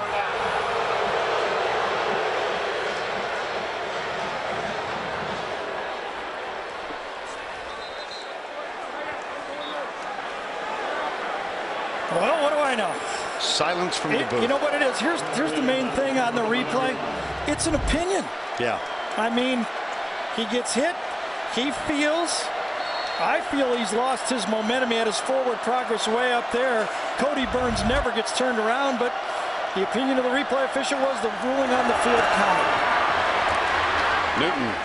Now big- he gets out to the six. It'll be a big call, big call because third down, no matter how good Cam Newton is, he's not going to pick that one up. And now LSU will have great field position because number seven is going to be back there. Number seven, as in Patrick Peterson, who has returned two punts for touchdowns this season. Steven Clark, who is a true freshman, is on to punt.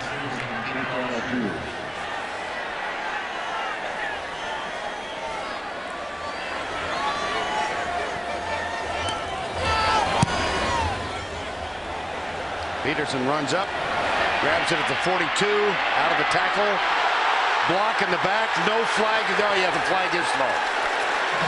Field judge saw that. And so this is going to go, I'm sure, against LSU. It was such an unnecessary block by Spencer Ware. Number 16 is the guy I think that got the, the block there. It was 10 yards behind the play. Just so unnecessary to do it, too. During the return, illegal block in the back, number 16, receiving team, 10-yard penalty, first down. Yeah, he did not get his head. That, that's unnecessary and really cost big field position. Now Red Lobster presents today's scholar athlete. The athlete is Zach Clayton from Auburn, graduated in the spring. With a major in business finance, he's pursuing a second degree. Red Lobster's commitment to the investment of our future shown today by donating $1,000 to Auburn University's General Scholarship Fund. Jarrett Lee is the quarterback.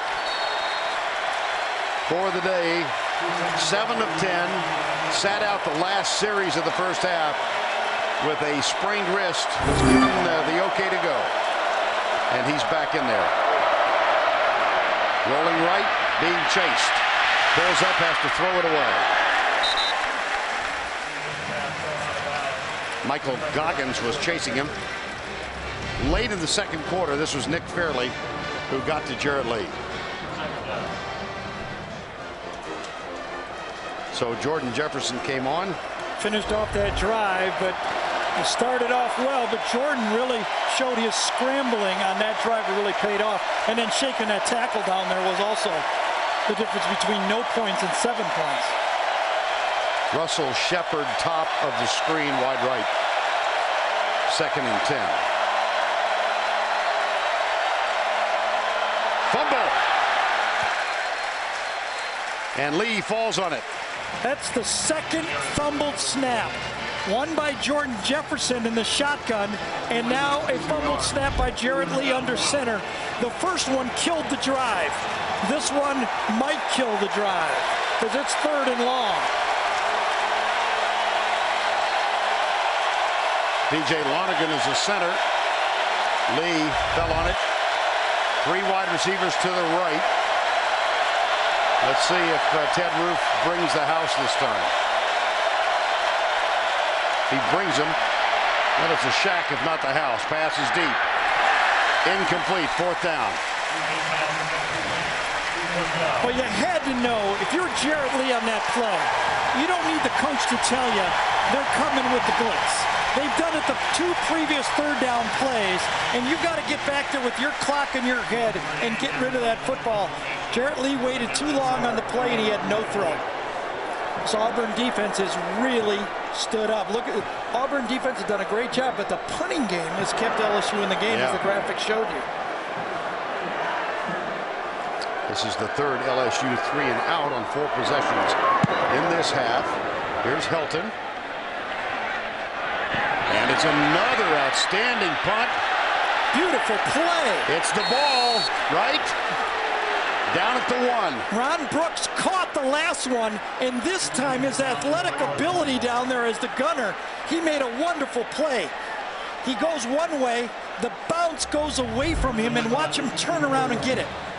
There's Ron Brooks. Now watch him turn, keep his balance, and then whack it away. Now remember, if the ball breaks the plane, even in the air, it's a touchback. Can't tell. Not from that angle. Didn't look like it did to me. I didn't think so. But again, this field position. Well, this Auburn team won the special teams battle last week against Arkansas. But uh-oh. Ladies and gentlemen, Cam Newton out to the 10, second and one. Yeah, he was so patient again, waiting for the play. This was just like a power play to the outside. He reads the block, waits, waits, waits, and now near hash, second down. Auburn likes to go very quickly in this situation.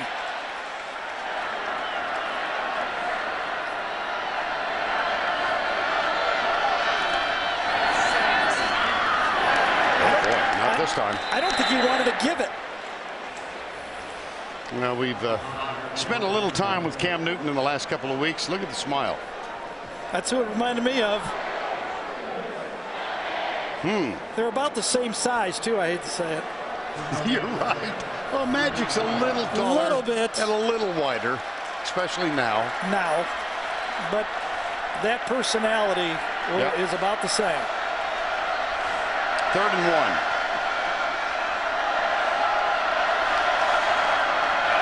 Here's Newton. That was the Wildcat, too. Yeah. Two offensive tackles to the opposite side. They went unbalanced line, and Cam Newton, like Tim Tebow, is a first down machine on second and third and short. So here's the two tackles together, side by side. That's the Wildcat.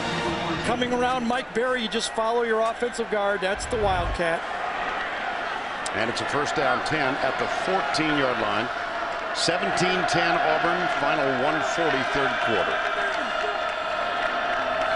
LSU is not coming up near the line of scrimmage. They're keeping their safeties back, forcing the long drive.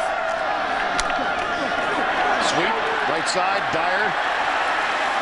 Turns his legs, gets close to the first down marker at the 24. Greg Lawson, number six, made the tackle. Well, Vern, the two great backs coming out recruited this year were Marcus Lattimore at U uh, South Carolina, and of course Michael Dyer right here. They both are great young football players. I like them both, but this Dyer's stature is great. And they'll try him again for the first down, and they get the first down, plus three or four yards. How about that? Well, that will get the crowd fired up.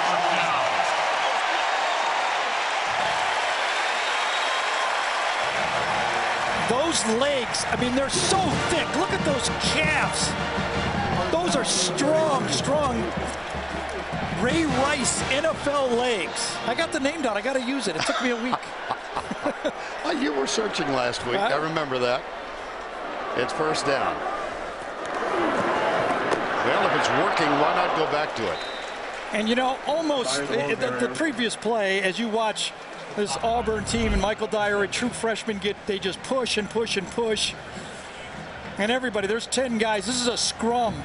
This is uh, Australian rules foot rugby right here, isn't it? I mean, even even Newton's in there pushing on the play. Right. That's going to do it for three. They'll let the clock expire. The battle of the unbeatens at Jordan Hare Stadium. And as we go to the fourth, the Auburn Tigers lead the LSU Tigers by seven.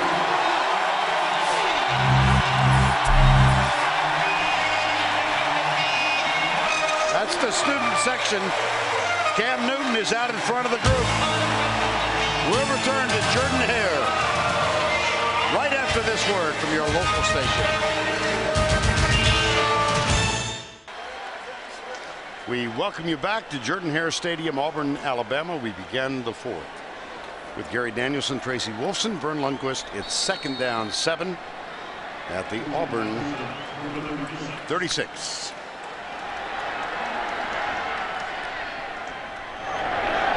Left side. Onterio McCalebb about to the 41 yard line. As the Auburn Tigers, they've been pushed inside their five three times now uh, in, in the ball game, and they've managed to get out, but They've been losing field position, yet still lead 17. Yeah, they have one, what, a 91-yard drive, and Right. now they got another one right here. When you're starting to run maybe for the fourth straight game, they're approaching 300 yards rushing for Right. the fourth straight game.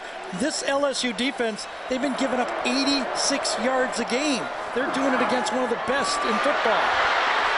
Oh, my. Stiff arm. Well, he lost yardage, but it's still worth a look. This Kelvin is- Sheppard got him. This is one of, the, one of the best minus 10 yard runs I've ever seen. First of all, great rush up front by that LSU defense. They just kept coming, and they never gave enough space for Cam Newton, even Cam Newton, to get started. That was a stop that this LSU defense needed. They've had four drives. They only have one first down, LSU, in the second half. They need it coming up. Now Steven Clark. Poor punt. Really poor. Taken by Peterson at the 32. Hauled down by Demond Washington.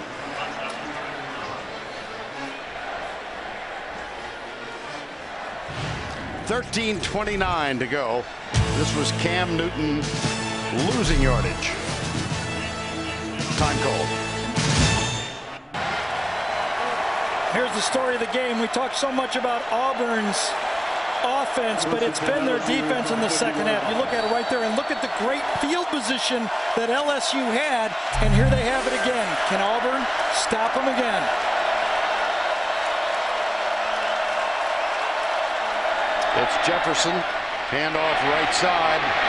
Ridley down to the 40-yard line. Craig Stevens makes the tackle. Well, Ridley had 28 carries against Florida, and I really believe he's one of those backs that he needs the ball more to get lathered up and run. Very stocky, very strong. We talked about that he's not a home run hitter, but nine-yard ball carriers on first down are worth their weight in gold. Could it be a play where they might want to go deep? LSU has not gotten any big plays in this football game. Second down one. Shepard alongside Jefferson. Play fake Jefferson. First down. Talking about big plays, I was reading this stat about the LSU offense. Even with their great wide receivers, they have thrown the ball for passes. They've tried attempted more than 10 yards. They're 33% for the year. They are not completing the long balls, and only one of those all year have been for a touchdown. No long ball threats. Spencer Ware is in the backfield. It's a Oh, lateral. yeah, and there's Randle downfield. He's open, and he makes the catch. LSU touchdown.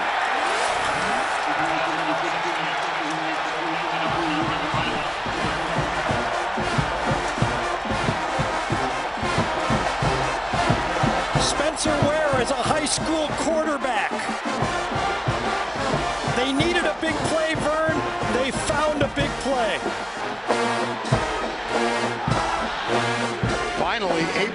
Capitalize on that outstanding field position. Their offense had looked like a, a dance group. One, two, three kick on the first four possessions. But now Spencer Ware finds Rueben Randle. And Josh Jasper with a chance to tie this one up.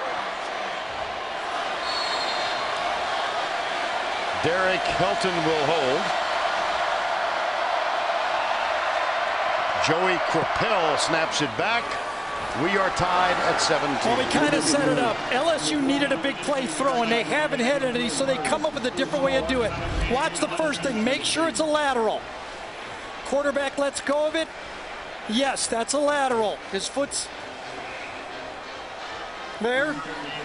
Spencer Ware, a high school quarterback and a fullback, lets it go slightly underthrown, but Rueben Randle does a good job and makes the play. Does he sell it? That's Josh Bynes, the middle linebacker, covering the wide receiver.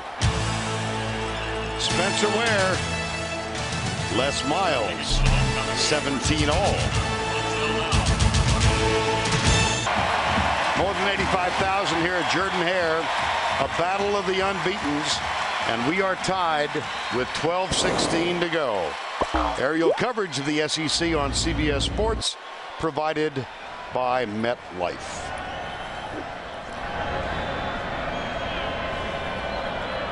Jasper will kick off. Remember we talked about it, Vern. Would it be the two weaker parts of these two teams? Which would give? Would it be LSU's offense versus the weak part of Auburn's defense, the secondary? It's been ebbing and flowing back and forth. Well, you just had the sense that that negative field position Auburn and the great field position right. for LSU was at some point going to pay dividends. Well, that weak part of LSU is the deep passing game. The weak part of Auburn is giving up the deep pass. Right. Well, we are uh, early in the fourth quarter. Now this is up to date. The point differential for LSU, 26 points, Auburn 41. Look at the yardage and the turnover difference. Well, and then just think about LSU. Their last two wins against Tennessee and Florida were on the last play of the game. Right. Okay. And Auburn's had, what, three games where they won right at the end of the football game.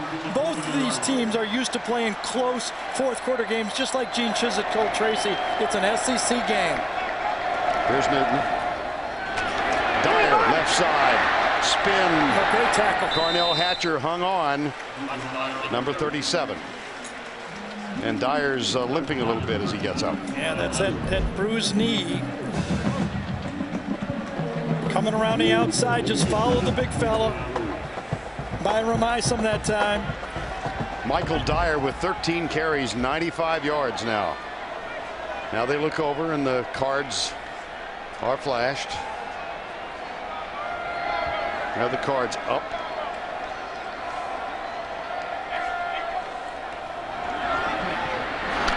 Newton keeps it a yard short of the first down. It'll be third down.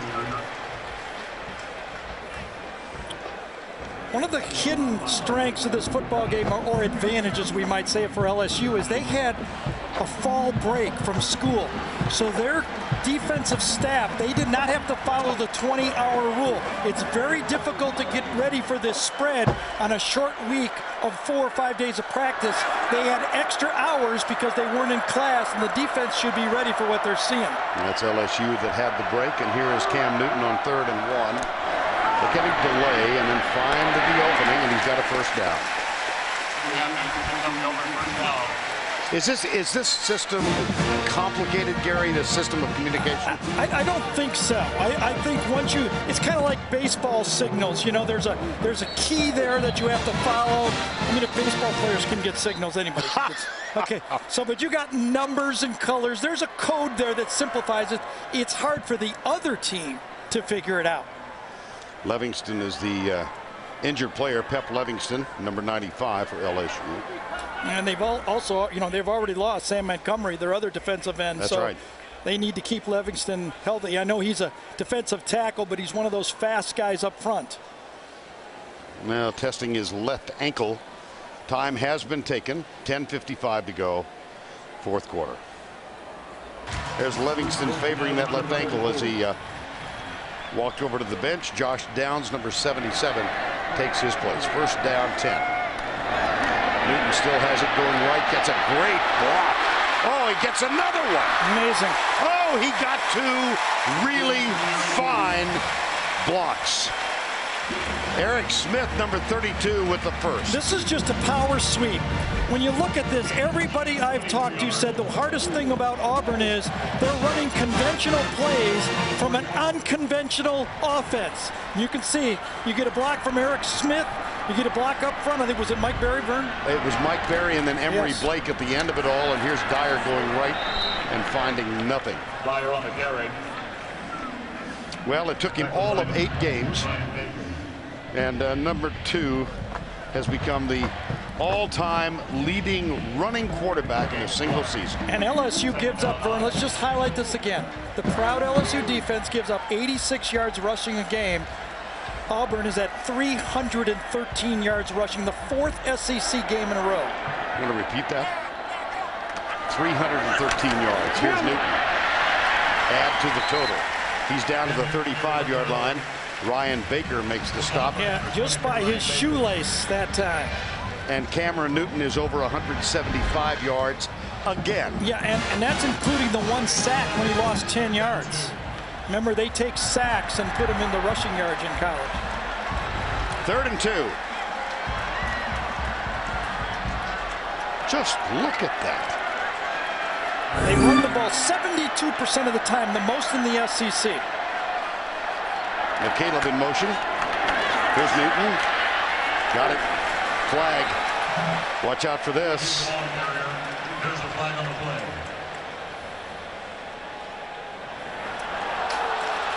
Wipe it out. Gene Chizik, Gus Malzahn.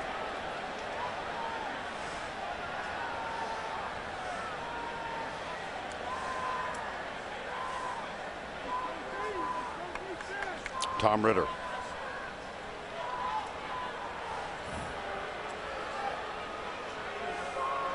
Holding number 75 offense, 10-yard penalty, replay third down. I think he was holding uh, Drake Nevis on the play, too. Of course, Brandon Mosley is playing because because A.J. Greene, the original starting offensive tackle, was injured.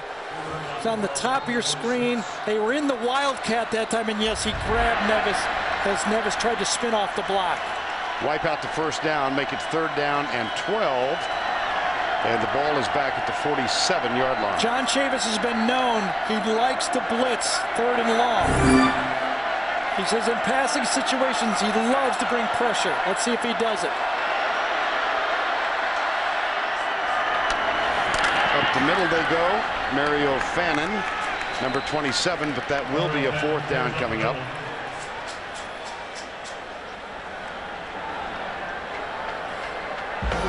We talked about the communication. It goes on all the way to the snap.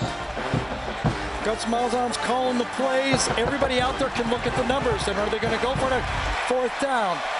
I, do- I will tell you this, Vern. Be careful. I've seen Cam Newton pooch punt. All right.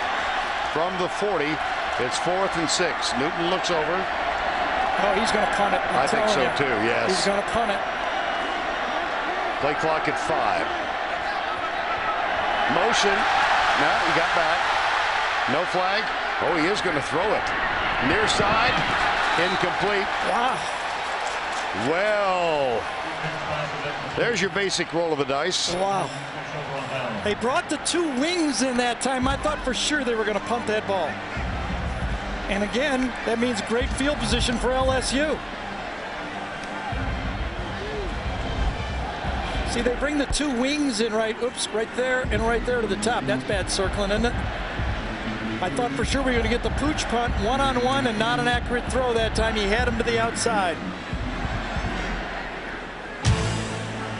Ooh, it was easier when I was coaching Springdale High School.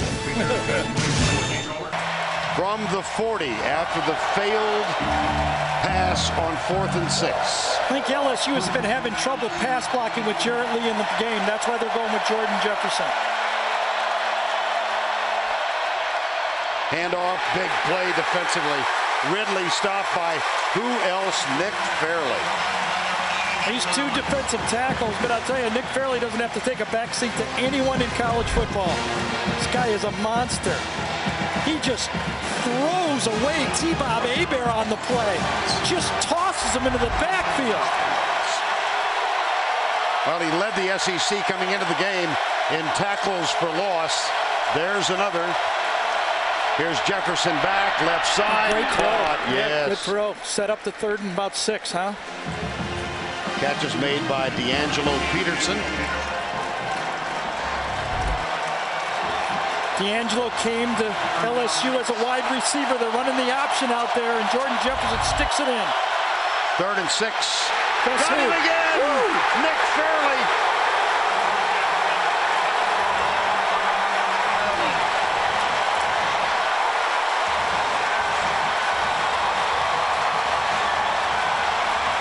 Nick Fairley guessed the snap count on this one and got off to a running start.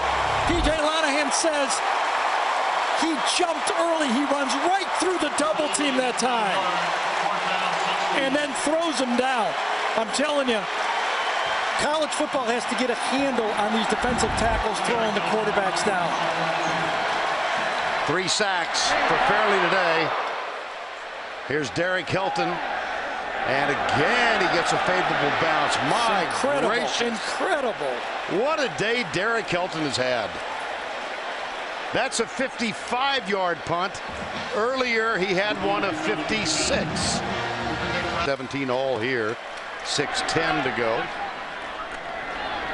Newton. Karnell Hatcher, he gets by him.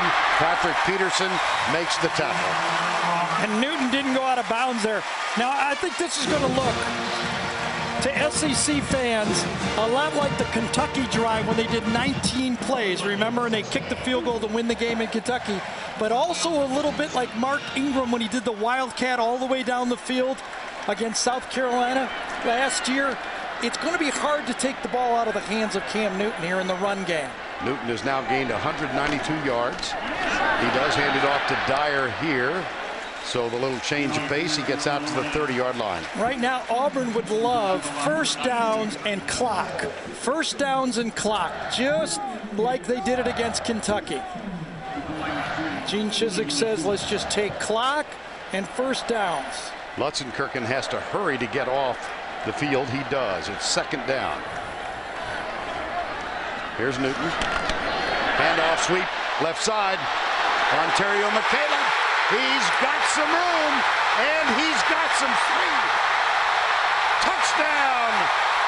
Auburn, 70 yards.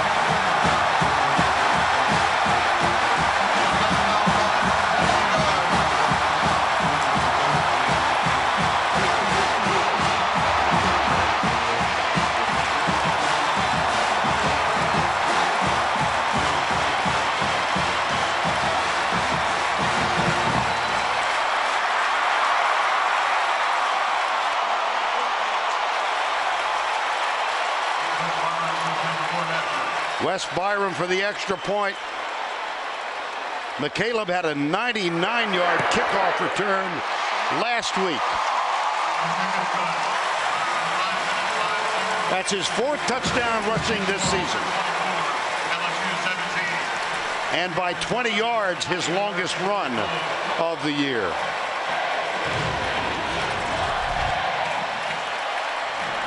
Well, they, they took 19 plays to kick a winning field goal against Kentucky. This one took him three plays. And remember, this is a read play. The quarterback, Cam Newton, can either keep it or give it. That time he said, I think I'll give it. Looks like I got a touchdown. 24-17 after that 70-yard run. Onterio McCalebb.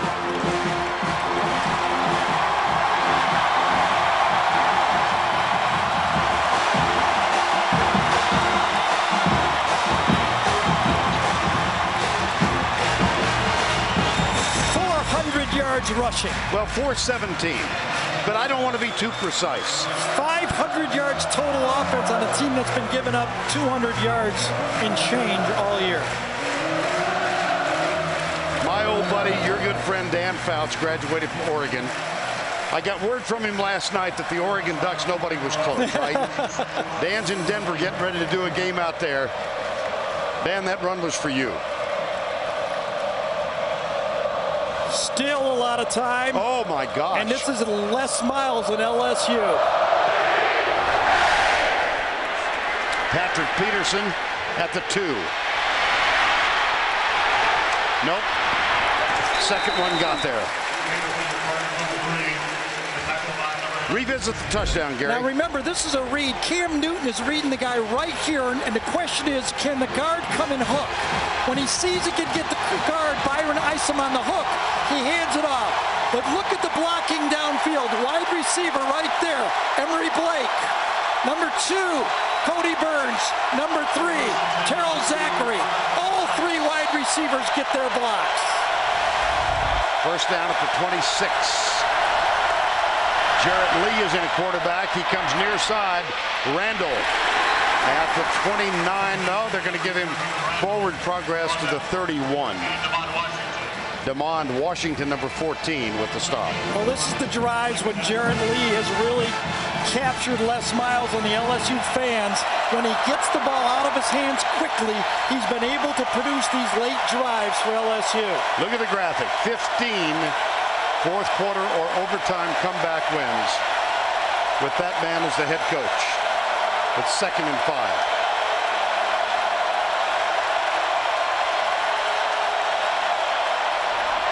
Ridley. Third down. Nick Fairley made the play. And he thought he was held on the play. Watch number 90, Nick Fairley. They can't block him. Here he is right here. Watch him on the play. Runs through it, gets a hand on it, and then gets up and said, I was held. What a football game he is having. Third and six. 3.45 remaining. This battle of the undefeateds. Randle in motion. Lee under center. Across the middle. Caught. He dropped it. He Oh, dropped, it. He dropped it. Well, they're going to say incomplete now. Yes. Now remember, LSU has three timeouts. They can still punt it and get the ball back. Now take a look at the end of the play. Terrence Toliver would have had to make a great catch, but that's about the fourth one that he had and dropped, and it was bang, bang. I think he kind of had it, but he didn't have it and come down and make a play with it. Craig Stevens hit him. Les Miles wants a timeout. Oh, now he's about committed himself now. With the timeout, he's now committed that he's going to go for it on fourth down. Well, it's not like we haven't seen Les Miles beat the clock. How about the fifth, fourth down? One of the great games I've ever seen. LSU and Florida, they went for it five times, got every one of them. But that was just the start, Gary. This one, I thought it was a great time. This wasn't at all a gamble. There was plenty of time on the clock. I think it was actually three seconds, not one second. Time expired at Ole Miss last year, memorable. And uh, Jordan Jefferson spiked the ball because he thought he had a timeout. And then this year, of course, they get an extra play because Tennessee had 13 men on the field. That was a mess. And then Terrence Toliver, just a couple of weeks back, this game winner with six seconds remaining. I'm a little surprised, I have to say. You've got a sound defense, three timeouts. Les decided he's going to draw the line in the sand right now and go for it on fourth down. Toliver, they need him on the other side, and the play clock could become, no, no, 20 seconds. They left. only had 10 men on the field. Russell Shepard just ran in. And now Toliver's going to leave. This is chaotic. Now he stays. He's in inbounds on the near side, far side. Lee, fourth down. Not going to get it. I got to tell you, that was a mess. That was a mess. That was a mess after a timeout.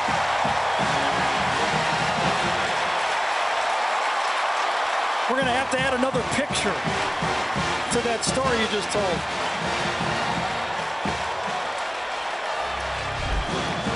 First of all, they only have 10 men. You can see at the top of the screen right here, they tell Russ, they tell Russell Shepard to get on the field. Then they switch Toliver to the other side. He thinks he's going off. No, No, stay stay on the field. Then they put a guy in motion, and it's nothing. They got nothing.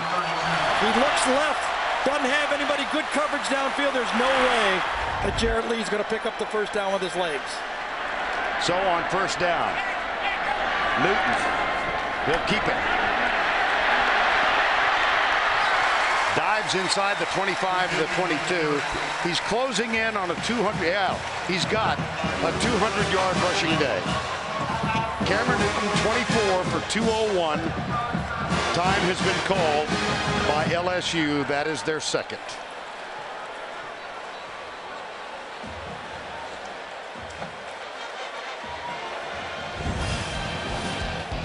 Take a look at the kind of day he's had. First of all, he starts it over by showing how strong he is by running over somebody. Then in one of the most brilliant plays you'll ever see, he accelerates into the end zone for a touchdown. This is one of the great minus nine-yard runs you'll see in college football. And then he waits, he waits, and patiently picks his spot and picks up the first down. So for the day, 200 yards, a career high. And Michael Dyer, as you mentioned, he's gone over 100 also. And one more time, versus LSU. On your right, that's his dad, Cecil, and his mom, Jackie. They live in College Park, Maryland. Second down, two. Cam's dad is a uh, Pentecostal minister. Second down and two. First down.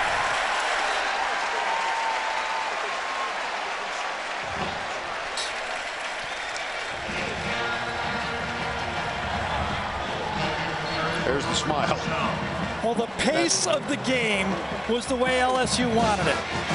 The yards, the rush yards, is nothing they ever dreamed could happen to them. I'm just I'm looking up at the the stats on the board. It's staggering.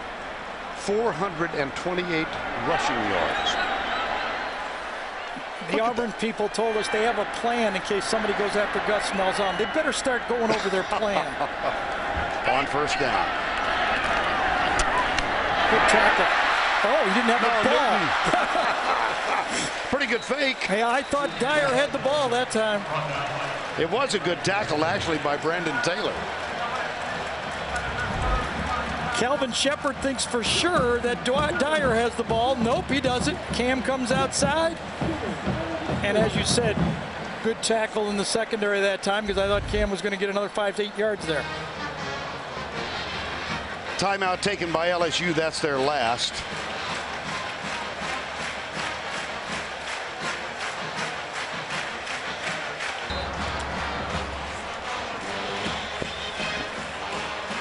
Well, Nick Fairley. This guy, Cam Newton is the star, but this guy stole the stage today because a team that gave up 566 yards a week ago came into this game and challenged their defensive line, and number 90 just put on a show. Six tackles. Two and a half sacks. He shared one of them. Here's Newton. He's just uh, trying to get that clock to wind down now. Well, Cam Newton, the ball both coaches chose to go for it on fourth and five or six. Neither with uh, effective results. That's true. Third down. LSU can bring this clock even without a first down to about a minute in the game. And then, of course, you can kick a field goal if you're Auburn to put it away if they want to. And I don't see why they wouldn't. They've got a, a veteran field goal kicker that could just ice it. Here's the Wildcat. Two tackles to the top of the screen. Both of them over here. Third and six. Newton, Game. first and goal. Ball game.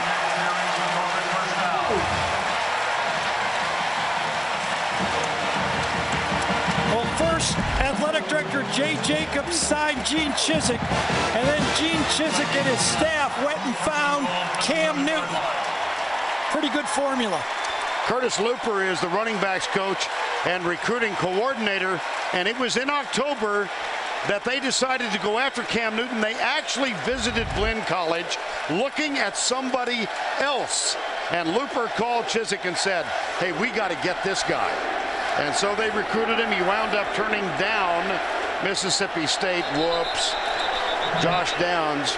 That might even be construed as a cheap shot. Now let's remember here, though, LSU, it's not over for them. They have a bye week coming Right. up, and then Alabama coming to their place in two weeks. Dead ball, offside, defense, half the distance to the goal, first down. I signal.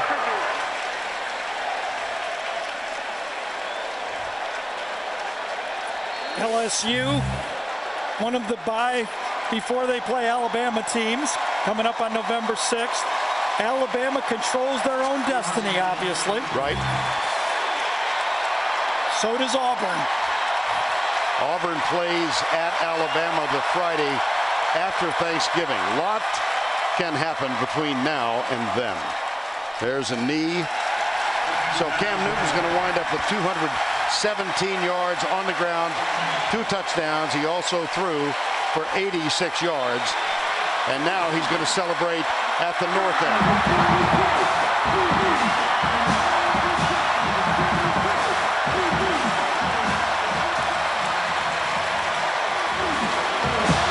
Well, this sounds uh, maybe contradictory when we're talking about Cam Newton.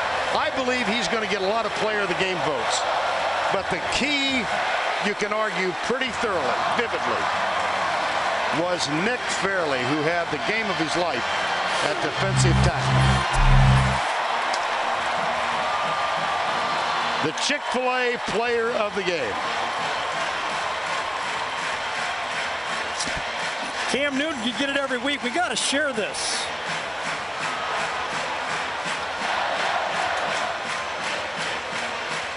Hey, is it fun around here or what? Oh my gosh. Final score 24-17 coming next. The Jeep postgame show for Tracy Wolfson. Gary Danielson, I'm Vern Lundquist. Auburn wins it. We'll see you next week from Jacksonville.